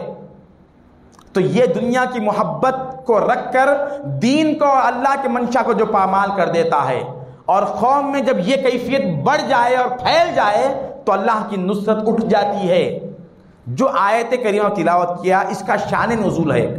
ये आयत किस वक्त नाजिल हुई, वो सुनेंगे तो आप और हैरत करेंगे। ये सहाबा कराम पर सहाबा कराम के लिए नाजिल हुई आयत। जंग ओहद का वाकया था। सहाबा कराम के अंदर थोड़ी देर के लिए दुनिया का रुझान आ गया तो अल्लाह ताला उनके साथ क्या बर्ताव किया देखिए। हमारा हमारा क्या शुमार है यहाँ पर। जंग अहद में सरकार दो आलम सासलम ने सत्तर सहाबा को हुक्म दिया कि तुम ओहद के पहाड़ पे रखो, ठहर जाओ। मुखर किया हुजूर ने। बहुत अहम बात कर रहा हूँ। सत्तर सहाबा को हुक्म दिया कि तुम ओहद के पहाड़ पर ठहर जाओ। उनको तरतीब से हुजूर ठहरा दिए। और हुक्म दिया, जब तक मैं ना कहूँ, इस पहाड़ से कोई नहीं उतरेगा। किसी को उतरने की इजाज़त नहीं, जब तक मैं ना कहूँ। जंग शुरू हो गई। इस पहाड़ पर हुजूर ने क्यों ठहराया, किसी को पता नहीं। इसमें हिकमत क्या है? जो सरकार दो आलम की रसूलाना फिरासत देख रही थी, किसी को नहीं मालूम। हज़रत खालिद बिन वलीद सबसे पहली मरतबा मुसलमानों के खिलाफ लड़ने के लिए आए थे। अभी इस्लाम नहीं लाए थे। हज़रत खालिद बिन वलीद रज़ी अल्लाह जब जंग में आए तो जंग का नक्शा देखकर कहने लगे, अबू सुफियान से, अरे अबू सुफियान, वापस चलो। जंग का नक्शा खुद ऐसा बना हुआ है कि हम इस जंग में जीत नहीं सकते। बहुत हिकमत इस्तेमाल की गई है इसमें। तो अबू सुफियान ने कहा, हमें तो वापस जाना नहीं है। हम बिल्कुल कसम खा कर आए हैं कि हम इस जंग को लड़ेंगे। तो हज़रत खालिद बिन वलीद रज़ी अल्लाह पीछे हो गए और वो तलाश करने लगे किसी ऐसे मकाम को जहाँ से मुसलमानों को जेर करने का, हराने का मौका हो। कोई एक मकाम भी नहीं मिला। तो आप होते होते उहद के पहाड़ के पास पहुँचे। वहाँ सत्तर आदमियों को ठहरा हुआ देखा। आपके दिल में सरकार दो आलम की अजमत जो बैठी, सबसे पहले यहाँ से बैठी थी। आप हैरत हो गए कि इस पहाड़ को सरकार दो आलम ने सहाबा को ठहरा कर महफूज कर लिया है। यही एक मकाम था। अगर ये पहाड़ खाली होता तो हम पीछे के रास्ते से जाकर मुसलमानों पर हमला कर सकते थे। वो एक छोटी टोली और छोटी फौज लेकर पहाड़ के नीचे ठहर गए। और कहने लगे, ये जंग जीतने का सिर्फ़ एक ही तरीका है कि ये पहाड़ खाली हो जाए और हम पहाड़ पर कब्जा हासिल कर ले। तो हम बिल्कुल सारी जंग को फतह कर सकते हैं। अब यहाँ सहाबा कराम और मुशरकिन के दरमियान घुमसान की जंग हो गई। यहाँ तक के सारे मुशरकिन साहबा के वार पर मजबूर होकर भागने लगे। भागने लगे अब। तो ये जो सब भागने लगे तो होता यह था कि जंग में अपने साथ जो सामान होते थे, वो छोड़कर भाग जाते थे।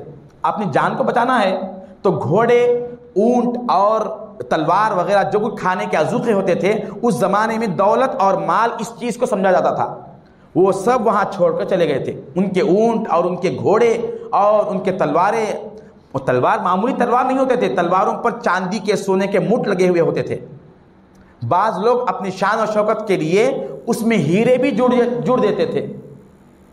तो ये सारा माल मैदान में पड़ा हुआ है, सारे मुशरकिन भागने लगे। जैसे ही ये माल बच गया तो ये पहाड़ पर जो सत्तर लोग ठहरे हुए थे, उन्होंने आपस में मशवरा किया, अब तो मुशरकिन भाग गए हैं, हम यहाँ ठहर कर क्या करेंगे? चलो, हम भी जाते हैं और माल गनीमत को जमा करेंगे। दिल में ख्याल ही आया।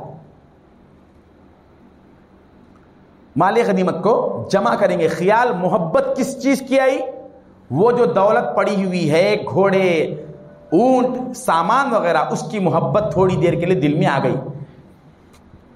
उनमें से, सत्तर में से साठ अलग हो गए। साठ लोग कहने लगे, नहीं, हम जाएँगे और माल गनीमत जमा करेंगे।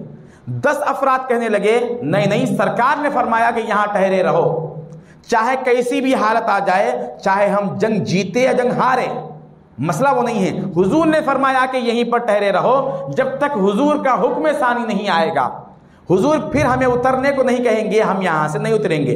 दस सहाबा ये कहकर अड़ गए और साठ तशरी करने लगे। नहीं, सरकार ने इसलिए यहाँ रुकने को कहा था, जब जंग जारी रहे, अब तो जंग खत्म हो गया। मनशाए रसूल में जब मनशाए नफ्स को शामिल किया जाता है तो क्या अंजाम होता है, आप देख लीजिए। जब हुजूर ने कह दिया, सुन्नत रसूल सुन्नत रसूल को अपनाने का जब मौका आता, ऐसा करे तो भी हो जाता ना? नहीं करे तो क्या है? दाढ़ी इतनी रखने क्या ज़रूरत है? थोड़ी रखे तो बस है। उतनी लंबी रखना क्या ज़रूरी है? वैसा रखना क्या ज़रूरी है? ऐसा करना क्या ज़रूरी है? ये जो हमारे तामक यह है ना, ये हमारे तशरीहात है ना, ये चीज़ हमें डुबा देती है। नफ्स को ताबे करना है सुनत रसूल का मतलब। वो नहीं करेंगे, उसके बावजूद रखेंगे तो कोई फ़ायदा नहीं है। हम नमाज़ तो पढ़ते हैं, अपने मंशा की पढ़ते हैं, रसूल के मंशा की नहीं पढ़ते। हम लिबास तो पहनते, अपने मंशा का पहनते हैं, रसूल के मंशा का नहीं है। कौन सा कौन से शय में रसूल का मंशा है? ना हमारे घर में है, ना हमारे तन पे है। अब उन्होंने सिर्फ़ साठ लोग कहने लगे, सरकार दो आलम के मंशा में अपना मंशा दाखिल किए। भाई, अब जंग तो खत्म हो गई है, वो लोग भाग गए हैं, अब हम ठहर कर क्या करेंगे? ये कहकर साठ लोग उतर गए पहाड़ से। खालिद बिन वलीद रज़ी अल्लाह पहले से तैयार थे। एक कुमक को लेकर आप पीछे तैयार थे। अब जैसे ही वो पहाड़ खाली हुआ, अपने सिपाहियों को फौज को फ़ौरन लेकर आप ऊपर चढ़ गए और चढ़ते हुए दस लोग जो वहाँ रह गए थे हुजूर के हुक्म सानी के वास्ते, उन पर वार करके दस लोगों को सहाबी को शहीद कर दिए। अब जैसे ही खालिद बिन वलीद रज़ी अल्लाह पहाड़ पर खाबिज हो गए, भागे हुए और जो मुसल, मुशरकिन भाग रहे थे, उनको पुकार कर कहने लगे, आए मुशरिको, पलट आओ, मुसलमान तो माले गनीमत जमाने में है, अब इनको मारने का अच्छा मौका है। ये जंग का फांसा बिल्कुल पलट गया। तारीख में ये एक वाहिद जंग है जो मुसलमानों ने हार कर जीता है। पहले जीत गए, फिर हार गए, फिर जीत गए थे। ये दरमियान में हार क्यों हुई? ये मौजू है। अब इस सब्जेक्ट में ये हमें गौर करने का है इस पर। हार क्यों गए थे? सरकार दो आलम शासन जिस जंग में है, क्या उस जंग को हार सकते हैं कोई? क्या कहेंगे? हम, हमारे ईमान क्या जवाब देगा? सरकार दो आलम खुद तशरीफ़ फरमा है। इसी जंग में सरकार दो शासन के दंदान मुबारक, दात मुबारक शहीद हुए। हुजूर गड़े में गिर गए। बहुत से मुसलमान शहीद हो गए। वजह क्या थी? चंद लोगों ने दुनिया की मोहब्बत को अपने दिल में लाया और उसके साथ हुक्म रसूल को वहाँ से निकाल दिया। वो माले गनीमत जिसको जो मिला हुआ उसका था, वो उतारने के लिए चले गए। हुक्म रसूल का कोई पास और लिहाज नहीं रखा। अब यहाँ पर बात एक गौर करने की यह है कि वो जो दस लोग थे जो हुक्म रसूल पर ठहर गए थे, वो शहीद हो गए। जो साठ उतर गए थे, वो शहीद नहीं हुए। कौन कामयाब है? दस जो शहीद हो गए, वो कामयाब है, वो अच्छे हैं, उनकी पोजीशन अच्छी है, या साठ जो उतर गए थे, वो अच्छे हैं? अब हम तो यही कहेंगे कि भाई, जिसकी जान बच गई वो अच्छा है। जान बचना अच्छा समझते हम। जान कब तक बचेगी? आज बचेगी तो कल निकलेगी ना। जो किसी न किसी दिन जाना है, अभी जाए तो अच्छा है। दस लोग खुश नसीब थे, इसलिए कि अल्लाह को उनकी अदा इतनी पसंद आई कि अल्लाह उनको शहादत का मकाम अता फरमा दिया। शहीद हो गए दस। अभी साठ जो उतर गए थे, उनको शहादत नहीं मिली। क्यों? तुमने दुनिया की मोहब्बत को अपने दिल में लाया, इसलिए मकाम शहादत से महरूम कर दिए गए। फिर हुक्म आया अल्लाह तबारक जब ये माजरा हुआ, जब जंग पूरी मुकम्मल हो गई, बाद में सरकार दो आलम शासन की बरकत से अल्लाह उसके बाद फतह अता फरमाया तो हुजूर पाक शासन ने सहाबा से पूछा, जंग तो हम जीत गए थे, अचानक ये खालिद पीछे से कैसे आ गए? ये माजरा ये बदल गया क्यों? इनखिलाफ कैसे आ गया? तो उस वक्त मालूम हुआ कि ये साठ लोग उतर कर आ गए थे। साठ लोग उतर कर आ गए थे और हज़रत खालिद बिन वलीद ऊपर चढ़ रहे थे। तो हुजूर पाक हज़रत खालिद बिन वलीद रज़ी अल्लाह तु के लिए बदुआ करने के लिए हाथ उठा रहे थे। हाथ उठा दिए बदुआ करने ही वाले थे। तो जबरील सलाम आकर सरकार दो आलम के हाथों को नीचे कर देते हैं। अल्लाह के रसूल, आप उनके लिए बदुआ मत कीजिए, क्योंकि खालिद को चढ़ने का मौका दिया ही इन लोगों ने। गलती किसकी है? आप खामखा उनके लिए बदुआ क्यों करें? लई सला का मिनल अमरिशन ये आयत उतरी उस वक्त। आप इस बारे में कोई फ़िक्र मत कीजिए। क्या बड़ी बात हो रही है? सरकार दो आलम सल्लल्लाहु अलैहि वसल्लम ने कभी किसी के लिए बदुआ की है। ऐसा नहीं है कि बदुआ नहीं किए हैं। बाज लोग ये कहते हैं कि सरकार द्वारा रहमत आलमीन है, इसीलिए किसी को बदुआ नहीं किए। भाई, रहमत आलमीन का मतलब अच्छे को भी छोड़ दे और बुरे को भी छोड़ दे। रह बरबदा से तमस्त बरने का। बुरे लोगों को माफ़ करना, नेक लोगों पर जुल्म है।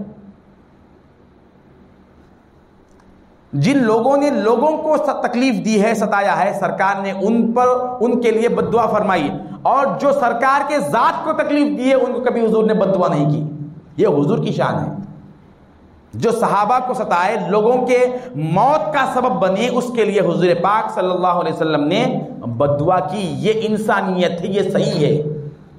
तो बात ये थी, अब हाथ उठाने ही वाले थे कि अल्लाह ने हुक्म दिया कि आप हाथ नीचे उतार दे, क्योंकि खालिद को ऊपर चढ़ने का मौका कब मिला? ये लोग इनके अंदर दुनिया की मोहब्बत आई तो हमने खुद खालिद को ऊपर चढ़ने का मौका दिया। बात समझ में आ रही? ये जो लोग हम पर हावी है, उससे ऐसा हुआ, इससे ऐसा हुआ, नहीं, इससे किसी से नहीं हुआ। हमारे करतूत है। हमारे अंदर दीन की मोहब्बत गई और दुनिया की मोहब्बत आ गई। अल्लाह तबारक वाली जालिमों को हम पर मुसलत कर दिया जाबिरों को हम पर मुसलत कर दिया। मुसलमानों का ये हाल हो गया। अब अल्लाह अब इस पर आयत उतरती है कुरान की मिन कुम दुनिया। तुम वो जो, जो माले गनीमत लेने के लिए आए ना तुम दुनिया के तलबगार हो। दुनिया की तलब तुम्हारे अंदर है। तुम में से कुछ वो है जो दुनिया की तलब के लिए उतरे। कौन है? सहाबा सहाबा है। अब ये नहीं कि सहाबा कराम भी गलतियाँ करते हैं। सहाबा कराम के ज़रिए से अल्लाह ताला बाज ऐसे काम करा दिए जो बज़ाहिर गलती मालूम होता है। बज़ाहिर थोड़ी देर के लिए गलत मालूम होते हैं, लेकिन उस गलती के काम को उन्होंने कैसा दुरुस्त किया, वो सुनेंगे तो मालूम होगा। गलती किए हैं, मगर गुनाह करना गुनाहगार होने की अलामत नहीं, दोस्त। जब गुनाह हो गया तो उसके बाद क्या करना है? उस उस वक्त पता चलता है कि हम कौन हैं। उन्होंने ऐसी तौबा की, वो जो साठ लोग नीचे उतरे थे। फिर अल्लाह कुरान को उतारा। वह लकद अफल्लाहम ए महबूब, इनसे आप कह दीजिए कि हमने इनको माफ़ फरमा दिया। इतना वो रोने की ज़रूरत नहीं, हम उनको माफ़ कर रहे हैं। फिर उनको बाद में उनकी तोबा कबूल होगी जो उतर उतर कर आगे थे। मगर बताना यह है कि दुनिया की मोहब्बत जिसके अंदर आती है और उस मोहब्बत के खातिर वो हुक्म रसूल को पामाल कर दे, वो दीन को किसी भी मकाम पर न रखे, खातिर में न लाए, अल्लाह की नुसरत उस मकाम से भी हट जाती है। अल्लाह की बरकतें वहाँ से ख़त्म हो जाती है। ये तीसरी चीज़ है, जहाँ से इंसान, मुसलमान अल्लाह की रहमतों से, उसकी बरकतों से महरूम होता है। बहुत बड़ी चीज़ है। दोस्तों, वो अब जो दुनिया की तरफ़ हम जा रहे हैं, ये तो हमारी मुकद्दर की है। क्या ज़रूरत है? आपको ये समझेगा कि भाई कारोबार छोड़ दें, वो छोड़ दें, ये छोड़ दें, कुछ भी छोड़ने की ज़रूरत नहीं। जो हमारी मुकद्दर की चीज़ है, फ़िक्र दुनिया की करना नहीं, फ़िक्र आखिरत की करना है। अल्लाह ने दुनिया को मुकद्दर में रख लिख कर रख दिया, आखिरत को मेहनत पे रखा। ये बात समझने की बहुत ज़रूरी है। दुनिया मुकद्दर की है, मेहनत करे या ना करे, आपका मुकद्दर नसीबू युसीबू लौका तहत जबलैन तुम कहीं भी जाकर बैठ जाओ, तुम्हारा मुकद्दर तुम्हारे पास आकर रहेगा। और आखिरत क्या है? मजरातुल आखिरा। खेती है, उसमें मेहनत करना है। वहाँ मेहनत करने की चीज़ है।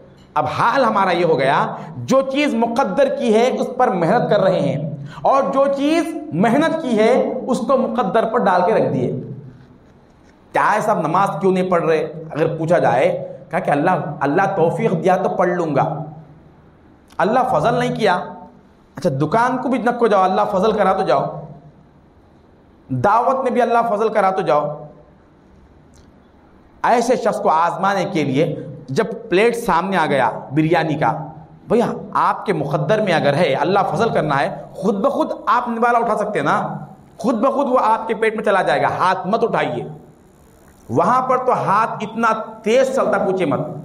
वहाँ तो अल्लाह के फजल पर मुकद्दर पे डाल के नहीं रखते हम। जब नफ्स का मसला आ गया तो मसला ऐसा बना लिए। जब दीन का मसला आ गया तो वैसा बना लिए। भाई मुकद्दर में नमाज़ नहीं पढ़ता क्या मैं? अल्लाह मुकद्दर में नमाज़ लिखा ही नहीं, इसलिए मैं नहीं पढ़। रहा हूँ मुकद्दर में है तो रोज़े रख लेता हूँ, नहीं तो मुकद्दर में अल्लाह नहीं नहीं रखा, इसलिए मैं रोज़ा नहीं रख रहा दुनिया में है तो मेहनत करके लिए। हालाँकि वो मुकद्दर की चीज़ है। अभी जो खाने की मिसाल दिया हूँ, इसके मुकद्दर में अगर है तो मार मार के खिलाते अल्लाह ताला उसको। कैसा ही पहुंचाते उसको? माँ के पेट में गजा कैसा लिए दोस्त हम? कौन से हाथ से खाए? कौन से हाथ से खाए हम माँ के पेट में? चार महीने का जब बच्चा हो जाता है तो उसके अंदर रूह आ जाती है, उसको गज़ा की ज़रूरत पड़ती है। चार महीने से नौ महीने तक, पाँच महीने इस बच्चे को गज़ा मिल रही है। पाँच महीने, एक महीना, दो महीना नहीं। कौन से हाथ से खाएँ गज़ा हम? अल्लाह ताला खुद फरमाता है क्या बंदे, तू जब अपने माँ के पेट में था, तेरे दांत थे न तेरे हाथ में पकड़ने की सलाहियत थी। ला का सिन्न तकता वला का यदुन तबतिश। न तेरे दांत थे कि तू कोई चीज़ पकड़ के, कतर के खा सकता था। न कोई चीज़ तेरे पास पेश की जाती तो तू हाथ में पकड़ सकता था। दोनों भी सलाहियतें नहीं थी। अब दुनिया में आने के बाद सिर्फ़ अपने पेट के लिए बेईमान हो गया तू। अपने पेट के लिए अपने मौला को नाराज़ कर दिया। झूठ बोला अपने पेट के लिए। झूठ बोला अपने ज़िंदगी के लिए। धोखा दे दिया अपने रिस्क कमाने के लिए। हालाँकि तू झूठ ना बोलता, तब भी हम रिस्क देते थे। तुझे ऐसे मकाम पर हम रिस्क दे चुके हैं, जहाँ पर किसी की आँख पहुँच नहीं सकती थी। कोई देख नहीं सकता था। बाप बाजू ठहरा हुआ है। जिस माँ के पेट में है, उसको खुद खबर नहीं कि पेट में क्या हो रहा है। कौन है? कौन बाखबर था हमारे साथ? कौन देख रहा था? इसको कितना गिजा होना है? कौन पहुँच रहा, पहुँचा रहा था? और फरमा मन अवसला इलेकल गिदा। बन आदम अय आदम के बेटे, मन अवसला इलेकल गिदा, व अंत वतनी उम्मिक। बताए आदम के बेटे तू जब अपने माँ के पेट में था कौन तुझे गिजा पहुँचाया? वो परवरदिगार जो इतने अंधेरों के अंदर तीन अंधेरों के अंदर तुझे गिजा पहुँचा सकता है क्या वो उस पेट से बाहर निकालकर गिजा नहीं पहुँचा सकता? यहाँ आने के बाद बे, बेईमान क्यों हो गया? फलम्मा तरा अराता वह कबीरता। जब तू बाहर आ गया, तेरे हाथ मज़बूत हो गए, जब तू जवान हो गया तो मुझे ललकारने लगा कि मैं चाहूँ तो ये कर सकता हूँ, मैं चाहूँ तो वो कर सकता हूँ। तेरी हैसियत क्या है? एक सांस के झोंके पर है इंसान की ज़िंदगी। ये अगर तंग हो जाए, ना ठहर सकता है, ना बैठ सकता है, ना सुकून से लेट सकता है। ऐसी हैसियत का रखने वाला, इसको अकड़ इतना है, मेरे पास वो है बड़ी बड़ी आवाजों से बात करने वाले। क्या समझे मुझे? क्या समझे? जब मौत का पैगाम आता और मनो मिट्टी डाली जाती, उस वक्त बोलो कि क्या समझ रहे हो? कौन हूँ मैं? जितने बोले हैं, मैं कौन हूँ? मैं कौन हूँ मालूम है? सब घाट उतर गए। किसी को अल्लाह नहीं रखा। जितने आए हैं, किसी को यहाँ रहना नहीं है, दोस्त। जहाँ जाना है, उसकी फ़िक्र करे। तो बात मजमून दूसरी तरफ़ जा रहा है। बात सिर्फ़ आज ये करना चाहता हूँ कि मुसलमानों के जवाल के असबाब क्या है? मुसलमान आज परेशानियों के शिकार क्यों है? 120 रुपए पेट्रोल हो गया तो मुसलमान परेशान नहीं होता, अगर उसको अल्लाह की जात पर भरोसा है। एक दाना एक सौ रुपए का भी हो जाए, इसको परेशान होने की ज़रूरत नहीं है। हुकूमत जालिम हो जाए, इसको परेशान होने की ज़रूरत नहीं है। अगर ये अपने मौला का फरमाबरदार है अगर ये इस अपने मौला को राज़ी करने वाला है, सबको भाड़ में जाने दे, ये अपने मौला को राज़ी करने पर आ जाए तो ये परवरदिगार बता दिया है, बनी इसराइल के लिए भी समंदर के रास्ते खोल के बता दिया, और उम्मत मोहम्मदिया को भी समंदर के रास्ते खोल के बता दिया। शर्त ये है, वहाँ मूसा सलाम थे, इसलिए रास्ते खुले। यहाँ आखा दो जहाँ वसल्लम के वफात के बाद ये मंजर पेश हो रहा है। हुजूर भी नहीं है, सिर्फ़ गुलाम है हुजूर के। गुलामों की भी शान है, दोस्त, बनना तो है कोई गुलाम, छोड़ना तो है कोई गुना। पूरे रमज़ान में क्या हम कोई ऐसा एक गुना से तोबा किए? पूरे रमज़ान में कम अज कम इतना भी कर लेते, ज़िंदगी में पचास साठ रमज़ान हमारे आ गए। एक रमज़ान, हर रमज़ान को अल्लाह, तेरे खातिर, तेरे रिजा के खातिर मैं फुला गुना छोड़ रहा हूँ। ये काम करके तो देखिए, ज़िंदगी में कैसी बाहर आती है, वो कुछ न रह कर भी खुश रहता है। कुछ न कर के मुसलमान खुश होता है। मुसलमान सब रख कर भी परेशान आज क्यों है? सिर्फ़ इसलिए है।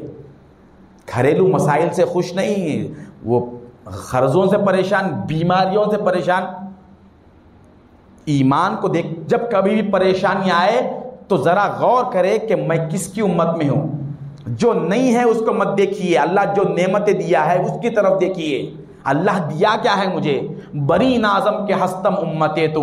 गुनाहगारम वो लेकिन खुश नसीबम मुझे नाश करने के लिए सिर्फ़ यही बात काफ़ी है। क्या बात काफ़ी है? मैं गुलाम हूँ मोहम्मद मुस्तफ़ा का। गुनाहगार गुनाहगार सही, लेकिन लेकिन उम्मत तो आपकी उम्मत में जो हूँ, ये अल्लाह नेमतें दिया। इतनी बड़ी नेमत हमारी आँख नहीं खुली है। अगर आँख खुलती बात इनकी तो देखते कि अल्लाह की रहमतें कैसी बरस रही है। बाहर नहीं ठहरते, अंदर बैठते आकर। रम अलिया अल्लाह जिनके आँखों से अल्लाह ताला पर्दे हटाया है, उन्होंने देखा है कि रमज़ान में कैसी बरकतें, कैसी रहमतें उतरी है। हमारी आँख तो आवारा हो गई ना। गैर को देखने की आदि बन गई, इसलिए इस आँख को, रहमत खुदाबंदी को देखकर, उसके लज्जत को महसूस करने की तोफीक नहीं है। कुरान सुनने से कोई हमारे कल पे असर क्यों नहीं आज? ये कान बुरी चीज़ें सुनने के आदि हो गए। इसमें गिलादत पहले से है और जब तक तौबा नहीं करेंगे, ये गिलादत कान से नहीं निकलेगी। मुसलमान भी कोई गाना सुन सकता है, जिसके पास खुरान का, कुरान कलाम हो, वो किसी और के गाने से मज़ा ले रहा है। कोई बात है? कोई बात है? हमारे घर में तो बिरयानी बन, बनी हुई है और हम बाहर जाके सफ़ेद खाना मील्स खा रहे हैं। कोई हो सकता है, कोई करेगा ऐसा? इतने तो होशियार हैं हम। हमारे घर में कुरान है और ये है गानों से लुत्फ लेने वाला नौजवान। वो गाना ऐसा है, अपने अपने फोनों के रिंगटोन दिए मुसलमानों के। क्यों ऐसा मज़हब है हम? ये कुरान तो वो था जिसको सुनकर मुशरकिन भी रोते थे। जिस कुरान को सुनकर काफिर भी आप जिदा होते थे, मगर हाय अफसोस, आज मुसलमान कलीम तयबा ला इलाहा इल्लल्लाह पढ़ने वाला इस कुरान से महजूज नहीं हो रहा है। हम कितने बीमार हो चुके हैं। जिसम की बीमारी तो फ़ौरन महसूस करते हैं। खल्ब जो हमारा बीमार हो गया है, उसकी बीमारी कानों तक पहुँच गई, उसकी बीमारी ज़ुबान तक पहुँच गई, उसकी बीमारी आँखों तक पहुँच गई। न इसके स्पेशलिस्ट को तलाश किए, न इसके इलाज की तरफ़ गए। दोस्तों, ये मौका अल्लाह तबारक वाली हमारी ज़िंदगी में तब्दीली के लिए लाया है। अगर रमज़ान के जाते जाते, जाने से पहले हम अपनी ज़िंदगी में इनकलाब नहीं लाएँगे, अपने अंदर से इन रज़ाइल को नहीं निकालेंगे तो मुसलमान आए दिन और ख़तरनाक दिन देखेगा। वसाइल ऐसा करेंगे तो वैसा होगा, वैसा करेंगे ऐसा होगा। बैठ कर दुआएँ करेंगे, हाथ दुआ के काबिल बनाओ पहले। ये हाथ दुआ के काबिल बनेंगे, हाथ उठने की ज़रूरत नहीं है दोस्त। हाथ उठने की ज़रूरत नहीं, एक पुकार बस है। वो आज भी तैयार है अपनी नुसरत को लेकर। आज भी मौला देख रहा है कि है कोई ऐसे हाथ वाला। एक हाथ ऐसा उठ जाए एक हाथ उठ जाए, आज भी भेजने के लिए तैयार है। वही फौजे है। अल्लाह ताला कमज़ोर नहीं हो गया। पहले ताकतवर था, पहले उसकी रहमतें बहुत थी, अब रहमतें कम हो गई। ऐसा नहीं है। तो दोस्तों, हमें अपने अंदर इनकलाब लाने की ज़रूरत है और सबसे पहले इसका आगाज़ तौबा के ज़रिए से करें। भाई, मैं ये काम नहीं छोड़ सकता। नहीं, मत छोड़िए पहले तो बात। अल्लाह के बार हमें तो कहिए कि अल्लाह, मैं मजबूर हूँ। शैतान और नफ्स मेरे पीछे लगे हुए हैं। इरादा तो करो कम अज़ कम, दोस्त, इरादा तो करो। अपनी कमाई को हलाल बनाओ। जब तक कमाई हलाल नहीं है, बरकत नहीं आती। नस्लें इससे तबाह हो जाती है। नस्ल दर नस्ल सब इससे तबाह हो जाएँगे। जब तक ये नहीं करेंगे। बात बहुत लंबी हो रही है। मैं बात को अपने समेटते हुए अल्लाह से दुआ करता हूँ कि अल्लाह जो कुछ कहा गया, सुना गया, अमल की तोफ़ी अता फरमा। हमारे हाल पर लुत्फ़ करम फरमा। तेरे महबूब का सदक़ा अता फरमा। आलम के मुसलमानों को सुकून कल बता फरमा। भटकी हुई राहों को सीधी राह पर ला। टूटे हुए क़लूब को जोड़ दे। मुसलमानों की जान, माल, इज़्ज़त व आबरू का तो मुहाफ़ बन जा। इन काफिरों को नस नाबूद फरमा। मुसलमानों को गलबा अता फरमा। हमें जो परेशान हाल है उनकी परेशानी को दूर फरमा। जो बीमार है, उनको सेहत अता फरमा। मरीज़ भी तेरा है, मरीज़ भी तेरा है। दवा भी तेरी चाहिए, शिफा भी तेरी चाहिए। शाफ़ मुतलक, हम सबको शिफा आजिला, कामिला मुस्तबिर अता फरमा। हमारे बड़ों को सलामत रख, हमारे छोटों को सलामत रख। हर एक की खुशी हमको नसीब फरमा। तुझे वास्ता है तेरे हबीब पाक सल्लल्लाहु अलैहि वसल्लम का इन अल्लाह व मलाइकतहु युसल्लूना अलन नबी। या अय्युहल्लज़ीना आमनू सल्लु अलैहि वसल्लिमु तस्लीमा। अल्लाहुम्मा सल्लि अला सय्यिदिना मौलाना मुहम्मद व अला आलि सय्यिदिना व मौलाना मुहम्मद व बारिक वसल्लिम। बिरहमतिक या अरहमर राहिमीन। अस्सलामु अलैकुम व रहमतुल्लाहि व